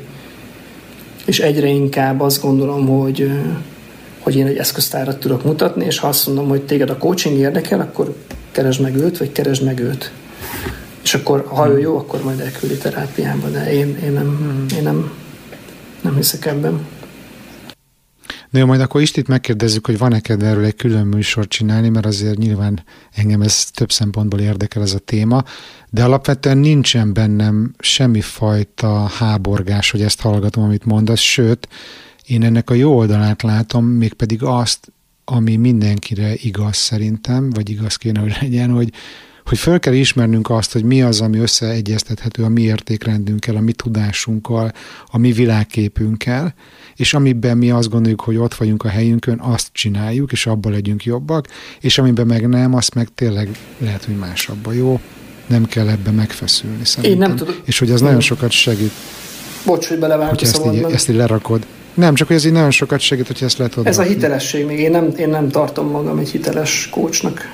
És az meg, az meg számomra megint egy érdekes kérdés, és itt majd lehet, hogy a te véleményedre is majd egy ponton kíváncsi lennék, hogy úgy tud-e segítő lenni valaki, hogy egyébként olyan mentális problémái vannak, amin aktívan, am, amin aktívan dolgozni kell, és elég neccesek. Hogy ezt ketté lehet választani, ezt a, ezt a két, két nem, Én azt gondolom, hogy nem lehet, és most, most lehet, hogy nem tudom, pszichológus hallgatóink már emelik fel a piros telefont, vagy a, vagy a komment kalapácsra ütik szét mindjárt a fejemet, amit tegyenek meg, de hogy, de hogy mindenki, akármit is csinálsz, és most ebben a coaching, akárhogy is nézett, szerintem egy segítő foglalkozás, hogy mindenki a személyiségével dolgozik. És hogyha az sérült, vagy jó, kinek nem, de hogy, hogyha az így nagyon darabokban van, akkor, akkor csak olyan munkát fogsz tudni végezni szerintem. Tehát, hogy ez, ez alapvető felelőssége mindenkinek, aki segítő szakmában dolgozik, hogy ő maga rendben legyen. De ezt akár egyébként kiterjeszthetni a világ összes emberére is, hogy ez az alapvető felelősségünk, hogy mi magunk rendben legyünk. Mert ha nem, akkor bármilyen interakciót bárkivel milyen lesz? Nem? De ez, ez akkor még egy nagyon erős pont abban, hogy én magamat miért nem hívom coachként. Mondom úgy, hogy most tényleg nem, nem fényezni akarom magam, de hogy elmentem iskolába, azt itt tanultam, meg aztán elmentem az Agile coachingot külön is tanultam, úgyhogy már volt benne mm. tapasztalatom, és aztán utána hoztam ezt a döntést, hogy nem hiteles, hogyha én csinálom. Mm. Én csak gratulálok ehhez a döntéshez, aztán majd tudod, ezek is olyanok, hogy, hogy a jövőben még vagy változik, vagy nem, de hogy én, én ahogy eddig megismertelek, én azért azt láttam, hogy te képes vagy arra, hogy ha valamiről többet megtudsz, akkor megváltoztatod róla a véleményedet. Abszolút. Vagy magad, Abszolút. magad helyzete megváltozik. De nem kell, hogy ezt erőltesd ezt a vonalat, csak így általában, ó, bocsánat, csak így általában mondom. Abszolút, úgyhogy hát ezért nem hívom magam coachnak, és szerintem jól van ez így. Mert abban viszont, abba viszont biztos vagyok, hogy a tapasztalataimmal, meg az élményeimmel, meg a meglátásaimmal baromi sokat tudok segíteni, ezt, ezt bizonyítják a mindennapok. Viszont nem így, tehát hogy nekem nem ezt az eszköztárt kell használnom. Hmm. Hmm. Jó, most nem kezdelek el kócsolni, hogy és már megvan-e, megtaláltad azt az eszköztárt, amit tudsz használni, mert tényleg ebben lehet, hogy van még egy adás. Én most, én most megköszönöm ezt a mait, jó? Meg megköszönöm a hallgatóknak a, azt, hogy itt vannak még Kitartó velünk, itt vannak velünk. Igen, igen. Én, én engem mindenképpen eh, ide szögezett a székhez a sztorid, úgyhogy, úgyhogy köszönöm még egyszer, Rics, és, és a legjobbakat kívánom neked. Én is köszönöm. Sziasztok! Sziasztok! Kedves hallgató, köszönöm, hogy még mindig itt vagy, remélem megérte végig maradnod. Ha szeretnél egy szuper társaság részévé válni, akkor csatlakozz az online támogató közösségünkhöz a Facebookon, keresd a Halottnak a Coach közösség csoportot, és ne felejts el követni az Instagramon a Halottnak a Coach címen. Amennyiben szeretnél velem dolgozni, részt venni egy csoportos coaching programon, vagy egyéni tanácsadáson, meghívni a cégedhez workshopot vagy érzékenyítő beszélgetést tartani, esetleg podcastet készítenél velem, akkor a részletekért látogass el a bánandrás.hu weboldalra. A bánandrás.hu-n feliratkozhatsz a hírlevelemre is, amiben péntekenként bepillanthatsz a kulisszák mögé, és megosztom veled, mi inspirál éppen, mit találok érdekesnek a világban. Iratkozz fel a Halottnak a Coachra Patreonon exkluzív tartalmakért, és támogasd a munkámat havi egy kávé árával. Küldhetsz egyszeri támogatást is a Paypalon vagy Revoluton, részletek az adásnaplóban. Köszönöm már a figyelmed, kérlek iratkozz föl a Halottnak a Coach podcastre azon a lejátszón, ahol éppen most hallgatod, és mesélj a műsorról egy barátodnak. Bán András voltam, a mi hamarabb viszont hallásra.